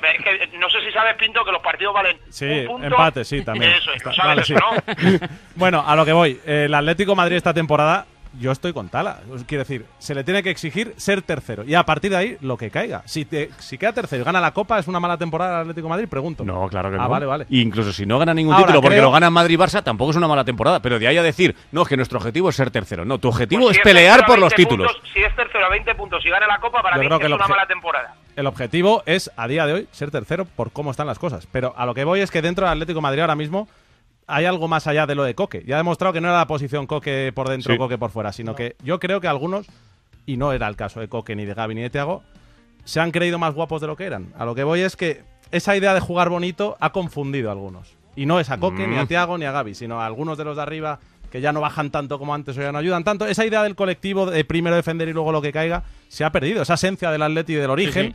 Y, Y- es a lo que tienen que intentar volver. Pero Pablo, y jugadores porque que no están bien. Lo que decía antes del Barça se puede aplicar perfectamente al Atlético de Madrid. Hay jugadores que tienen que estar en un nivel superlativo para ver la mejor versión del Atlético de Madrid y ahora mismo no lo están. Una menos dos de la madrugada, nos vamos. No le voy a preguntar a tú cómo estuvo el árbitro del Atlético Español, que si no, no acabamos. 0-0. excelente. Adiós a todos. Talavera, Pinto, eh, Meana, abrazo. Mario Torrejón, Gallego. Romero, Marcos. Jordi, Turralde. Eh, nos vamos a, Bilbao, que ahí ha ganado el Atlético Club de Bilbao 3-1 al Leibar. Hola, Íñigo Marquínez, muy buenas. Muy buenas. Eh, con debut además de ese, ¿cómo le llaman al, al nuevo delantero? El Búfalo, ¿no? El Búfalo. Sí, señor. A ser. Villalibre. Villalibre. Sí, señor. Y ha debutado con una asistencia. Y bueno, pues fíjate que a veces parece que no hay nada más en- después de Aduriz y sin embargo ya hay mimbres que por lo menos comienzan a apuntar, ¿no? Para poder sustituir a Aduriz cuando se retire dentro de 15 o 20 años más. Vamos. Ha estado bien William, ha estado bien Muniain, eh, con muchas bajas hoy en el Athletic Club. Partido bonito, ha sido ida y vuelta constante. Leibar ahí la ha plantado cara, pero al final tres puntos que se quedan en casa. Pintaba mal al principio, ¿eh? para el Athletic digo, ¿eh? porque el Eibar ha salido muy buen postito, muy cómodo, eh, sabiendo leer perfectamente el partido. Al Athletic le costaba, eh, pero muchísimo, acercarse a la portería contraria. Ha tenido que ser esa genialidad de Beñat, lleva 15 goles en primera y 10 los ha metido de, falta directa, la verdad es que tiene, una, bota prodigiosa, y luego ha llegado el gol de, Williams, eh, Williams que bueno, pues eh, ha estado bien, la verdad es que el chaval está un poco obsesionado con el gol, pero bueno, ha conseguido ese segundo tanto. Fíjate, hemos hablado con él después del partido y hablaba de, la celebración, porque tiene una celebración eh, con su colega, que es Iker Muniain, son Pelé y Melé, ¿no? Por decirlo de alguna forma, están todo, el día juntos, ha hablado de la celebración, ha hablado del gol y ha hablado también de, su hermano, se llama Nico Williams, es cadete en el Athletic y tiene, tiene muy buena pinta el chaval. Bueno, pues yo y mi hermanito pues siempre estamos haciendo el chorra en el vestuario y, y al final pues siempre entre una cosa y otra siempre salen alguna tontería y pues hoy hemos decidido hacer esta. Te has pegado buena carrerita ¿eh? de potencia y en la segunda parte por la banda hasta que has ganado la, la línea prácticamente de fondo y la has cruzado bien. ¿eh? Un gol muy tuyo. ¿eh? Sí, la verdad que, que he explotado mi virtud. Eh, creo que, que, tengo que mejorar esta característica y utilizarla más porque en carrera es difícil pararme y tengo que seguir así. Eh, me preguntan, digo, pregúntale si el hermano Iñaki Williams es igual de bueno que él. Y yo, pues es un niño todavía, Iñaki. Sí, todavía es muy pequeño, tiene 14 añitos. vas a decir que es mejor que tú, seguro. Están cadetes, la verdad que, tiene mucha más calidad que yo, pero todavía le queda mucho, tiene que seguir entrenando, trabajando y, por supuesto, estudiando. Tiene muy buena pinta el chaval, ¿eh? Bueno, qué bueno, sí, señor. Sí, señor. Eso, lo decía ya Dani Garrido en el carrusel. Pues nada, 3-1, tres puntitos para los de Valverde y a ver qué pasa el jueves, Íñigo, ¿eh? Sí, bueno, el partido es a las 9 de la noche, 1-2 en, los campos de Sport del Sardinero. Eh, ah, no, este jueves tenemos Viena. Europa, Europa League, Europa League. La semana. Bueno, pero ten en cuenta que es un partido que vale simplemente para el Athletic en Viena para ser primero o segundo de grupo, porque ya está clasificado y yo creo que Hombre, van a intentar ser primeros para no enfrentarse con ninguno de que llega de, la Champions. Pues a ver, a ver qué pasa el jueves con ese partido europeo. Un abrazo, Íñigo. Venga, otro. Hasta, mañana, 3-1. Le ganó el Atlético a Leibar, 1-1 en Mendizorroza para cerrar los partidos de hoy domingo entre Alavés y Las Palmas. Javier Lecona, muy buenas. ¿Qué tal? Muy buenas. ¿Cómo ha ido ese empate a uno? ¿Justo? Sí, yo creo que sí. Incluso en un momento dado Las Palmas ha hecho más méritos para llevarse el triunfo Mira, en los primeros cuatro minutos el Alavés ha salido en tromba, ha sacado tres corners, una falta lateral y ha marcado Alexis Ruano. Nos las prometía muy felices en Mendizorroza, pero han dejado el balón, el esférico y el dominio al equipo insular y en la segunda parte un error de Vigaray en, una, en un ajuste, un desajuste con, con el propio Alexis ha provocado el, el, tanto el empate de Las Palmas, que ha seguido dominando el partido y al final pues hombre, un empate que no deja feliz a ninguno de los dos, pero tampoco infeliz. Bueno, pues nada, reparto de puntos y ni muy contentos ni muy tristes. Uno para cada uno, un puntito para el Alavés, otro para la Unión Deportiva Las Palmas, después de ese partido en Mendizorroza. Abrazo, Lecuena. Buenas noches. Hasta mañana. Enseguida vienen eh, Pedro Martínez de la Rosa y Ponsetti para contarnos qué pasa con el coche que ha dejado Nico Rosberg en Mercedes y si hay opciones reales o no de Fernando Alonso. Enseguida en el larguero, Pedro Martínez de la Rosa y José Antonio Ponsetti. Pero está ya Bruno Alemán por ahí. Hola, Bruno. Hola Manu, buenas noches. Repasamos rápidamente lo mejor del domingo en el fútbol internacional. Otro pinchazo del United que ya está a 13 puntos del Chelsea. Sí, hoy ha empatado uno con el Everton, ha marcado primero Ibrahimovic, le han empatado con un gol de penalti de Baines en el 89.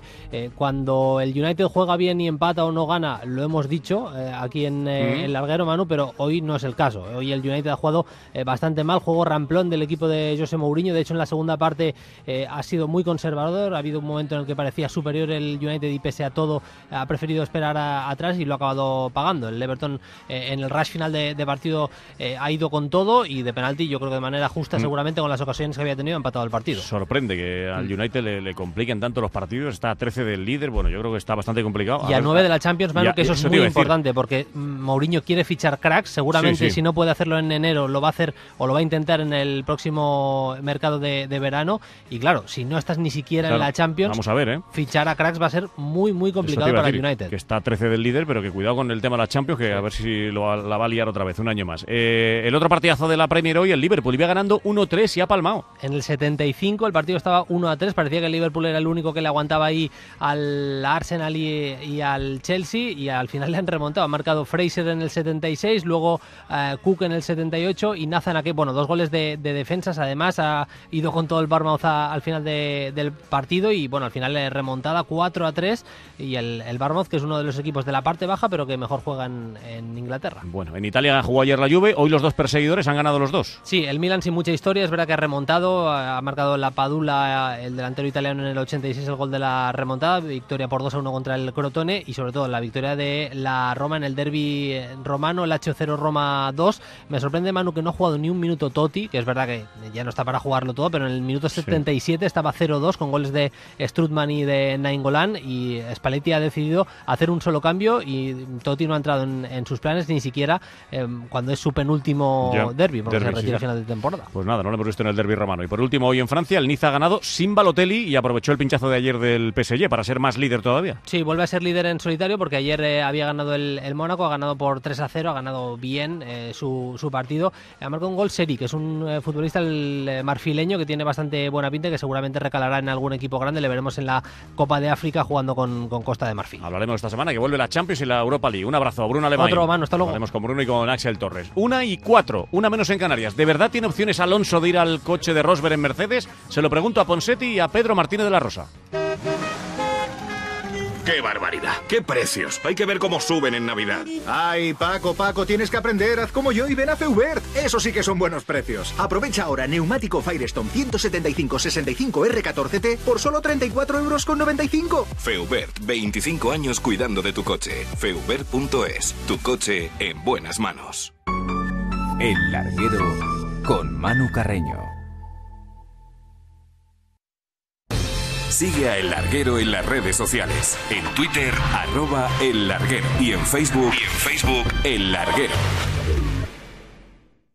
¿Te gusta correr? ¿O recorrer? ¿Partir? ¿O repartir? Si lo que te gusta es rey, ven a redescubrir tu vaca de siempre. Un nuevo concepto de parrilla de carne. Redescubre una nueva imagen en La Vaca de Castellana, López de Hoyos y Arturo Soria. Reserva ya en lavaca.es. Mañana empiezo a dar saltos de alegría. pues parece que no, ¿eh? Pero, pero esto cansa, ¿eh? y en las piernas, madre mía, cómo se nota. Cualquier ejercicio en realidad pues segrega endorfinas, ¿no? que son las hormonas de la felicidad, pero todos los ejercicios que son por medio de saltos pues multiplican la secreción de endorfinas. El salto es una de las formas más eficaces de provocar la secreción de endorfinas, las llamadas hormonas del placer. Mañana empiezo podcast. Síguenos en podiumpodcast.com. Podium Podcast.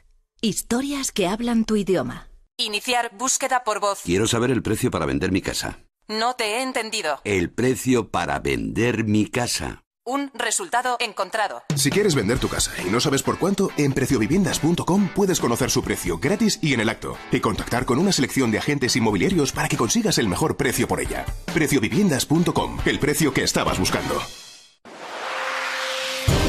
Ven al Pavón Teatro Kamikaze. A partir del 29 de noviembre estreno de La Noche de las Tríbadas dirigida por Miguel del Arco. Y continúa Idiota con Gonzalo de Castro dirigido por Israel Elejalde. Hasta el 8 de enero, improrrogable. Venta de entradas en teatrokamikaze.com. Cadena Ser. Corren nuevos tiempos. Vamos a escucharnos. El Larguero. Manu Carreño.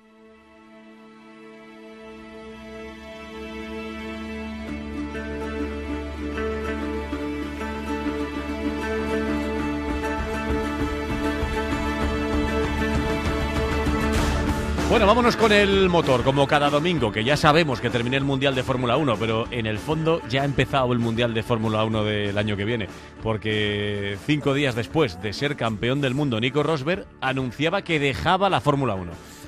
Así que ese coche queda vacante. Ya hablaban con Yago de Vega, Ponsetti y Pedro Martínez de la Rosa el pasado viernes, el mismo día que se conocía la noticia que nos eh, sorprendió a todos. Y han pasado dos días más. Eh, y queríamos que nos contaran un poco la última hora. Está ya por ahí Ponce. Hola, Ponsetti, muy buenas. ¿Qué tal, Manu? Buenas noches. Y está nuestro gran Pedro Martínez de la Rosa. Hola, Pedro. Hola, buenas noches. Buenas noches. Eh, bueno, yo creo que seguimos todos preguntándonos si esto de Alonso de verdad es una ilusión óptica de los españoles, que queremos que esto sea así, o de verdad hay una posibilidad mínima, más grande, más pequeña de que eso ocurra, Pedro. Bueno, la verdad es que desde que Nico Rosberg comunicó que se retiraba, que nos dejó a todos boquiabiertos, a mí el primero, la verdad es que me, pilló en el ave y, creía que era una broma. Eh, Le diste pero- al botón de emergencia del AVE, ¿no? Que se parara el... Sí, sí, sí, tiré, tiré con todo, paró y entonces llamé a Ponsetti y me lo ratificó. ¿sabes? Sí, sí, fue tremendo, fue tremendo.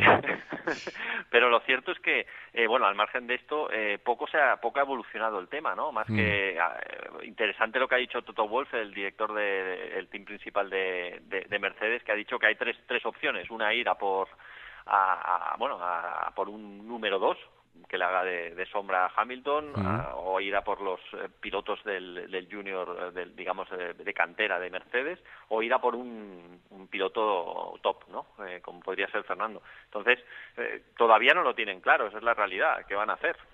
Entonces, eh, yo lo tendría claro, ¿no? O sea, un equipo top tiene que tener equipo, eh, Claro. los mejores Lo- pilotos lo que- eh, del mundo. Lo que pasa que os pregunto a los dos, ¿eh? pero dentro de, de esa opción, que yo creo que está clarísima, que van a ir a por la opción de piloto top, porque acaban de perder a un piloto top, tan top como que es el campeón del mundo, eh, dentro ese coche no se lo van a dar ahora a un junior. Yo entiendo que no va a ser así, por mucho que Hamilton quiera tener a un rival más asequible y que él sea el claro número uno. Pero dentro de esa opción de piloto top, está la opción de un piloto veterano, con experiencia, que ya sabe lo que es ser campeón del mundo, como Fernando Alonso, o también hay pilotos top con mucha más proyección, con mucho más futuro, más jóvenes y que también tienen trazas de futuros campeones del mundo. En, ese, eh, en esa opción 2 de top, ¿por qué crees que puede optar Mercedes, Pedro?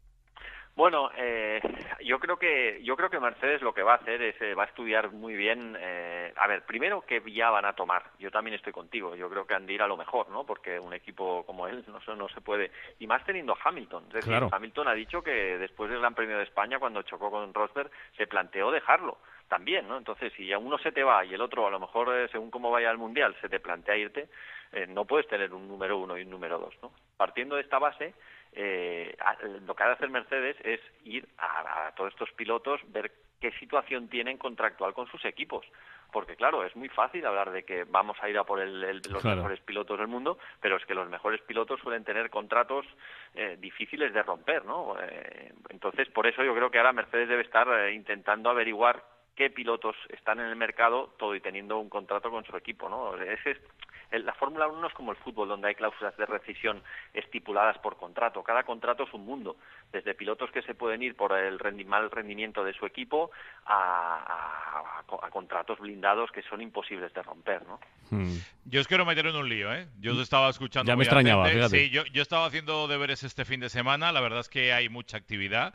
Eh, Mercedes sí que ha dicho alguna cosa, Pedro, como por ejemplo que se le han ofrecido todos los pilotos menos dos, que esos dos son Kubiak y Raikkonen, que parece ser que son los dos únicos que no han llamado para eh, preguntar Eh, por. el resto todos, ¿no? El resto todos.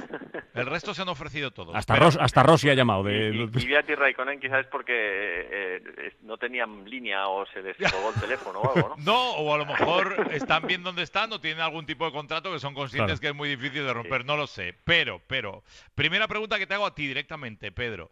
Eh, Hamilton, ¿cuánto tiene que decir de aquí? O sea, Hamilton puede decir este sí, este no, o tú crees que va a ser una decisión pura y enteramente de Mercedes? Pues va a ser una decisión pura y, ente- y entera de Mercedes, o sea, esto Vale. lo tengo clarísimo. Eh, clarísimo que a los pilotos muy pocas veces te preguntan, eh, te pueden preguntar una vez la decisión ya está tomada, si te llevas bien y tal, un poco para que le des el, eh, bueno, la verificación final, pero muchas veces los contratos ya están firmados y si el piloto luego dice, uy, eh, este no me gusta, y lo siento, es que ya está, oye, te vas a tener que intentar llevar bien con él.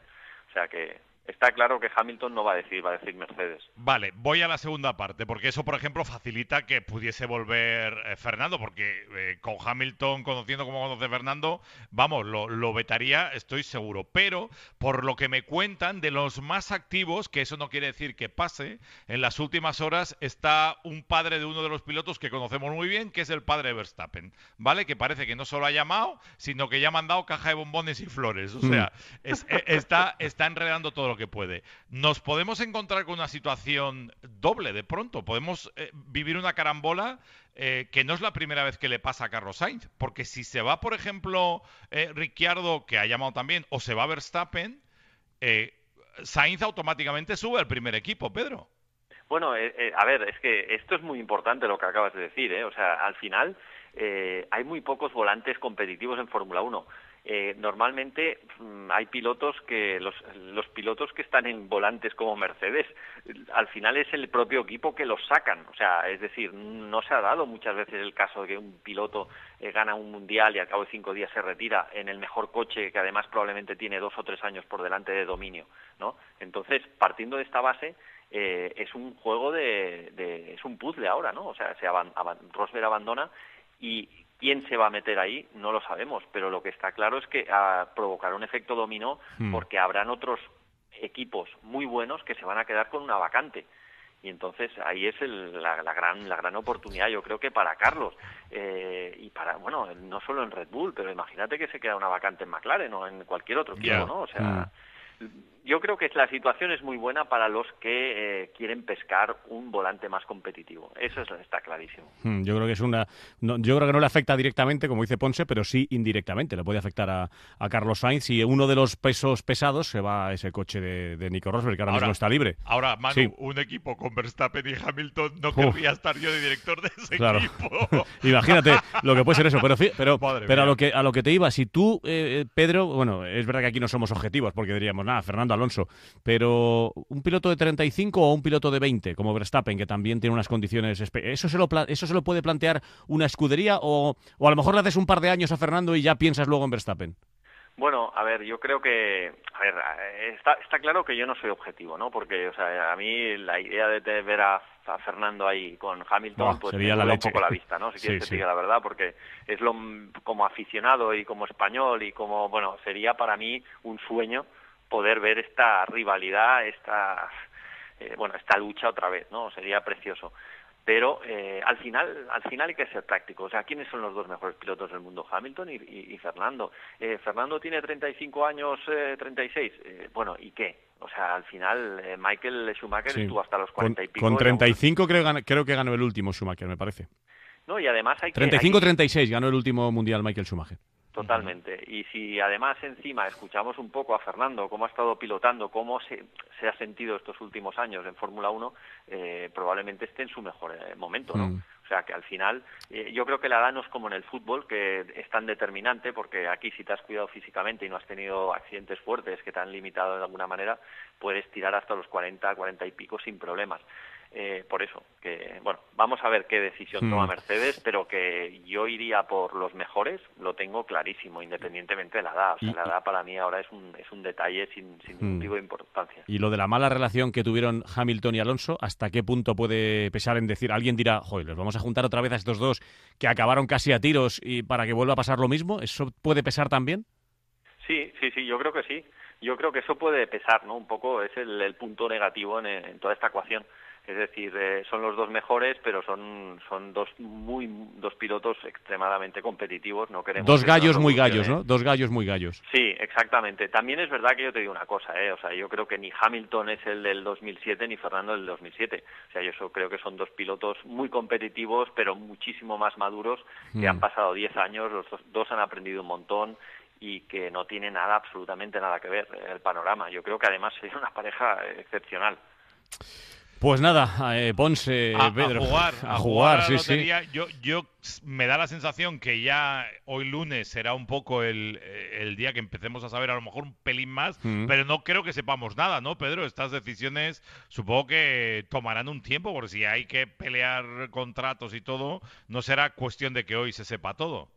Sí, sí, es- yo realmente creo que, bueno, eh, por un lado Toto Wolff dice que, que- que, bueno, que quiere que la, la decisión sea lo más rápido posible, pero luego también eh, le, le he oído decir hace unos días que se iban a tomar su tiempo, o sea que realmente yo creo que no lo tienen nada claro Hmm. y que lo que sí que es verdad que Toto Wolff también decir que eh, la, la, la opción de ir a por el piloto mejor es la que menos le gusta. Eh, bueno, eso es un jarro Es sorprendente, Pero ¿no? Sí. al final tampoco es Toto Wolff, es Claro. todo el equipo Sí, sí. Y, y el, y el consejo de, de Mercedes. Oye, ¿no? O ¿y, Ve- que- y Vettel, Pedro, que le queda un año con Ferrari? Alemán, claro, alemán, por, alemán por alemán en Mercedes.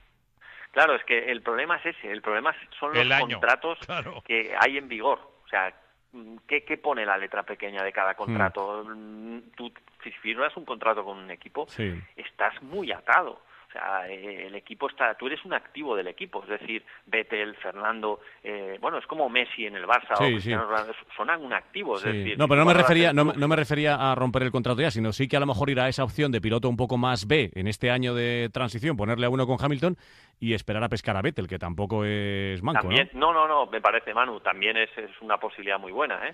Lo Eh, que pasa- a un junior y esperas que a termine, esperas a que termine Vettel Pero- con Ferrari, tienes a Vettel y a Hamilton, que fíjate, Ya, pero, pero el año que viene no va a ser fácil. ¿eh? Es que a mí Mm. eh, esa parte de que metan a un junior me tiene un poco desconcertado Mm. porque yo creo que el año que viene, por ejemplo, eh, es- me da la sensación que Red Bull va a ser otra vez un equipazo a batir y que no se pueden permitir según Tener solo a uno claro, competitivo, ¿no? Sí. Es que Mm. Ver- Verstappen y Ricciardo, imagínate, ¿eh? contra, no sé. Yo, yo creo, yo creo que si Mercedes estuviese tan seguro que Ocon y Verlaine, que son los dos juniors, son de la calidad de, de un Verstappen o de un Hamilton cuando entró en McLaren, porque Mm. no tenía nada de experiencia, pero ya prometía, era una bestia cuando entrenábamos con él, eh, ya se veía que, que iba- Mm. que iba a ser difícil de controlar. Eh, entonces yo creo que meterían a un junior, pero es que tienen sus dudas. En fin. Y ahí, es, ahí radica el problema, ¿no? Tenemos dudas. Bueno, Tenemos eh, dudas. veremos, vere- tenemos muchas dudas, sí. Pero mira, vamos a hacer una porra. A esta hora, Pedro, ¿se va Alonso a Mercedes? Buah, eh, Fonsetti, ¿tú qué dices? Espera que saco Vale, la- yo voto, yo voto, yo voto que no.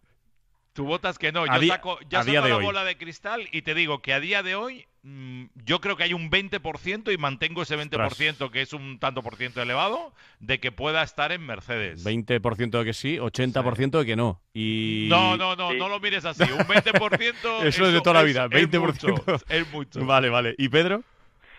¿Más Creo que, sí o más eh, que yo no? creo que- yo creo que hay un 50-50. Ostras. Ahí está. Joder, Ostras. Pedro, ahora sí que me has desmontado. Ojalá, Vamos ojalá, a ver, eh, yo ojalá. te lo digo de corazón, ¿eh? O sea, no, no, no porque yo sepa Mm. más que Ya, vosotros ya, ni ya. nada, es simplemente por, por, por cómo sé cómo funcionan estas cosas. Pero bueno, cualquier caso, vamos a Sí, soñar, ¿no? vamos a yo soñar. creo que lo importante es que pase lo que pase, va a ser bueno para los nuestros. Para Carlos, si se mueve Verstappen Sí. o Ricardo. Eso para sería la Fernando, bomba, si ¿eh? se va él. O sea, yo creo que en el fondo esto es bueno para nosotros. Me sorprende que lo haya hecho Rosberg, ¿eh? O sea, todavía sí. estoy bajo shock porque lo normal de un piloto es ganas uno y quieres ganar dos. Hmm. Pero bueno, Pero tanta, tanta pasta tiene este que está forradísimo desde niño, ¿no? No, Multimillonario. yo, yo creo que la lectura es otra. Tanto le ha dado la matraca a Hamilton que le ha agobiado y ha dicho yo no aguanto ni un minuto más al lado de este pesado. Esto que he leído de multimillonario desde niño, digo, joder, a ver si al final va a comprar hasta Mercedes él, va a comprar la escudería y va a decir, venga, ahora os compro aquí a... Porque ya ha dicho, ah, me retiro, que me sobra todo, tengo dinero, tengo mundial y me piro a casa. Pues como nosotros. Sí, más o menos. Nosotros aguantamos un año más. Hemos aguantado. El primer EGM está a punto de retirarme, Pedro. bueno, chavales, esperamos a ver noticias. Ponsetti, Ponsetti el otro día dijo una cosa muy chula y a mí ¿Sí? me gustó mucho. ¿Cuál? Dijo, esto es como cuando subes el Everest, ¿no? Que lo Mm, subes claro. y luego dices, bueno, ya lo he hecho, ahora, Claro. ahora voy a por otro Sí. o a, a por otro reto, ¿no? Esto ya lo he hecho. Mm. Pues yo creo que eso es lo que ha hecho Rosberg. Hmm, ahora hay que bajarlo, ¿no? Después de subirlo venga, ahora otra cosa, pero otra cosa fuera del automovilismo, ¿no?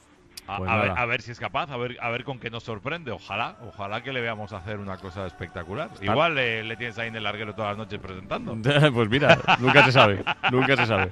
Estaremos atentos, chavales. Un abrazo, Pedro Martínez de la Rosa, y un placer, como siempre. Un abrazo muy Hasta luego, fuerte. Pedrote. Hasta Chao. luego, Ponce. Chao, Manu. vamos a Feliz esperar noche. a ver qué pasa en las Sí, próximas horas. Sí, sí. Bueno, y sobre todo los próximos días, porque ya te digo, ¿eh? yo creo que con el tema de los contratos, esto tienen que saber exactamente a quién Mm. le dicen, ok, eh, con el contrato este se puede romper y te subes tú en el coche. Pues mira, no estaría mal tampoco. Un añito y nos retiramos. Cuídate, Ponce. Anda, cuídate, Hasta luego, también. chao. Feliz noche, chao.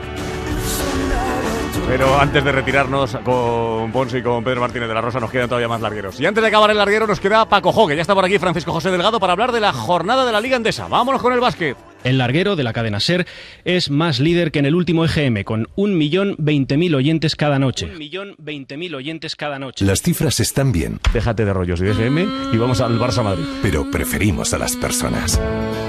Digo lo del GM, no digo nada del GM. Y he llegado a una conclusión. Lo voy a decir solo cuando nos vaya bien. Así que... Pues Manu Carreño ha arrasado en la noche deportiva de la radio española. Lo que quería, eh, y ahora lo digo en serio, es dar las gracias a todos los que os habéis quedado y dar las gracias a los que habéis venido. Gracias por contar con nosotros una vez más. Tu larguero. Cada noche a partir de las once y media. Con Manu Carreño. Corren nuevos tiempos. Vamos a escucharnos. Cadena Ser.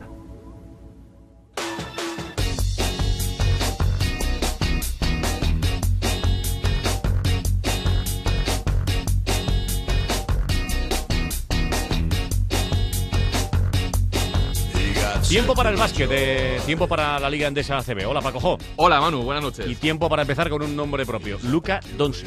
Ya nos dijo Pablo Lasso, este lleva camino de ser el mejor jugador de Europa. Pues igual llega antes de tiempo, ¿eh? Uf, qué barbaridad. Tiene 17 años. Yo es que, claro, me gusta recordar estas cosas porque Sí. eh, es bueno que digamos la edad antes de dar lo que, lo que ha hecho hoy. Hoy ha hecho 23 puntos y 11 asistencias con 34 de valoración eh, en el partido contra Montaquí Fuenlabrada. Hay que remontarse a 2006 para encontrar una actuación similar en el Real Madrid. La hizo Sergio Rodríguez. Hay que remontarse a 1999 para encontrar otra actuación similar.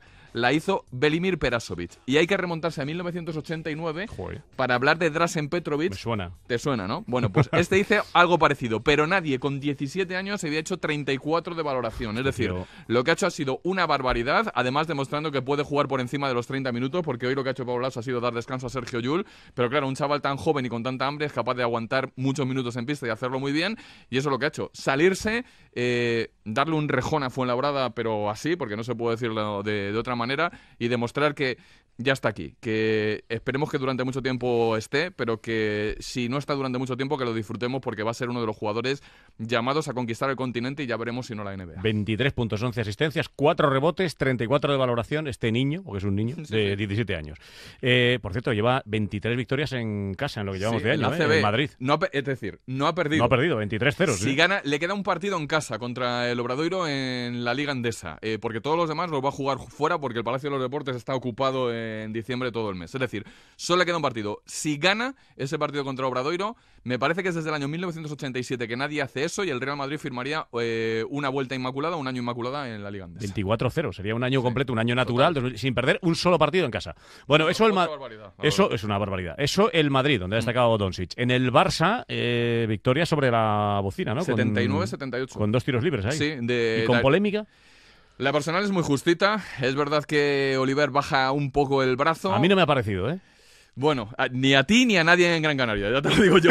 En Barcelona piensan En diferente. Barcelona no, no digo nada, pero a mí no me ha parecido Es muy justa, es decir, si, si se pita, vale, pero bueno, es muy, muy justita. Eh, también te digo, en ese instante estás dos abajo, eh, te tiene que temblar muy poco la mano, tienes Mm. que tener la calidad que tiene Rice, la tiene, ha anotado los dos y ha ganado el partido. El Ballet Gran Canaria, que por cierto está claro que, entre comillas, le tiene un poco tomada la medida al Barça, porque sí, la, la Supercopa Supercopa ya se lo ventiló se también. la ganó. Aquí ha perdido solo de uno, ha hecho muy buen partido el equipo de, de Casimiro y además es un partido en donde, eh, ¿te acuerdas que la semana pasada hablábamos de que tenía que fichar el Barça a alguien para darle Sí. descanso? Te preguntaba si necesitaba un recambio Rice, me decías, sí, necesita un recambio Rice. Ha llegado el recambio. Hombre, pues mira. Alex Renfro, eh, un jugador que llega de la Bundesliga, del Bayern de Múnich, no estaba disfrutando demasiados minutos en la Euroliga porque le han fichado otro por delante.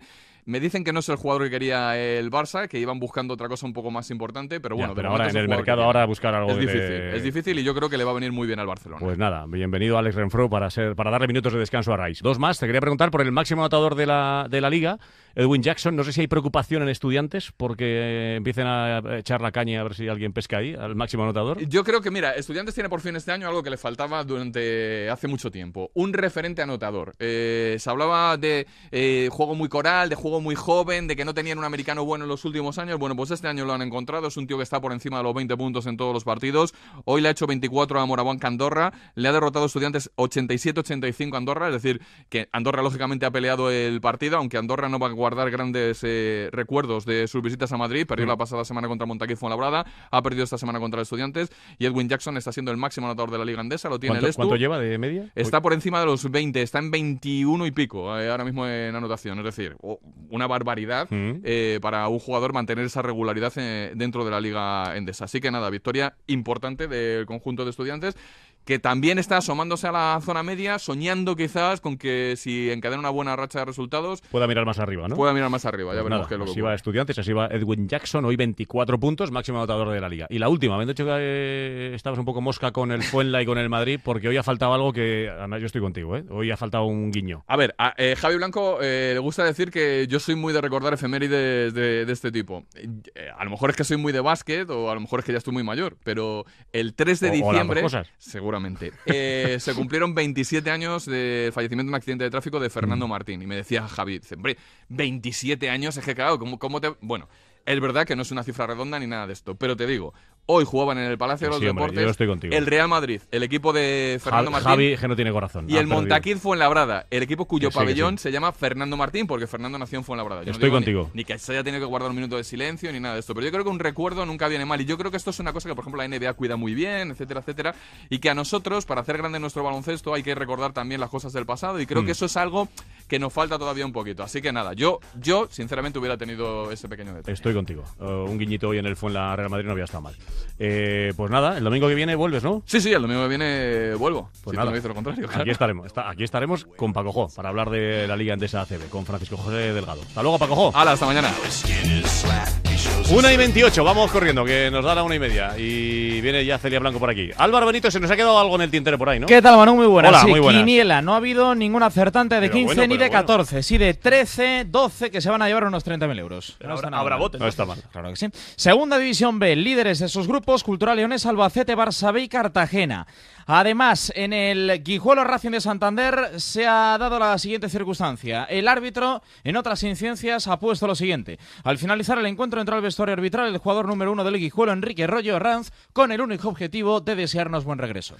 Cada uno que interprete Oh. lo que considere oportuno. Qué educado ha En la Liga Iberdrola Femenina gana el Atlético de Madrid 5-0 al Levante, líder es el Barça.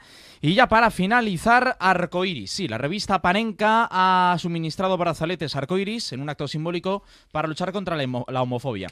Lo han eh, portado cinco equipos de primera división: Sevilla, Eibar, Leganés, Granada y Unión Deportiva Las Palmas. Y por último, que no sé si lo has dicho en la presentación, Balonmano España ha caído Sí, frente a sí, Suecia. sí, sí, qué pena, Por qué pena. seis, así que a ver qué Bueno, pasa en el próximo contra las anfitrionas hemos caído. Eh, ¿Qué dicen mañana los periódicos, Javi Blanco? En el diario Asmanus, Sergio Ramos, rey de la zona Cesarini, es el nuevo apodo que tiene en Italia por sus goles en los últimos minutos. En el marca, foto para Modric y Ramos y titula Ponme una buena que esto se acaba. La complicidad entre el croata y el capitán empieza con la amistad fuera del campo. En el Sport, solución Iniesta, Luis Enrique, que le ha dosificado en la liga, le dará mayor protagonismo a partir de ahora. Y el mundo deportivo, el Barça cree, la plantilla está convencida de poder remontar al Madrid los seis puntos de margen. Nos queda la opinión del oyente del larguero. Buen fin de semana para el Real Madrid. Eh, siempre luchamos hasta el final y siempre estamos ahí. De todas maneras, partido súper bonito y luchado. El Barça tiene un equipazo, a pesar de que le veo bastantes carencias en el centro del campo en la actualidad. Bueno, y un recuerdo para los muertos en el accidente de avión del equipo brasileño. Un saludo y buenas noches. Buenas noches. Manu, no nos dé la noche otra vez con el, con el clásico del Barça Madrid, hombre, déjanos respirar un poco. Pues si no, tenemos que mudar a otras cadenas. Está bien tanto Madrid, tanto Barça, que luego son unos estafadores.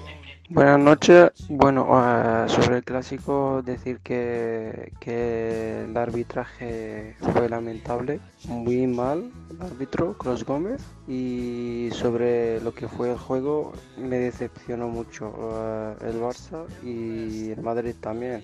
Un aplauso para Gallego, el único coherente que ha dicho la realidad. Aquí han tenido manga ancha toda la, toda la vida y ahora que hay que tienen que pagar, que paguen. Si trabajan aquí, viven aquí, comen aquí, tienen que pagar aquí, cuando sean culpables, lógicamente. Boas noites. Totalmente. Cada día estáis mejor.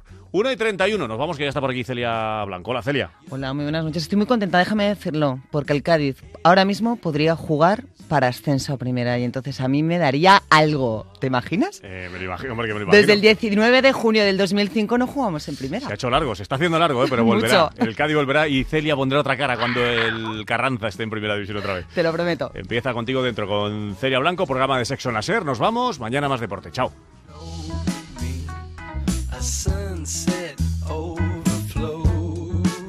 El larguero. Manu Carreño. Cadena Ser.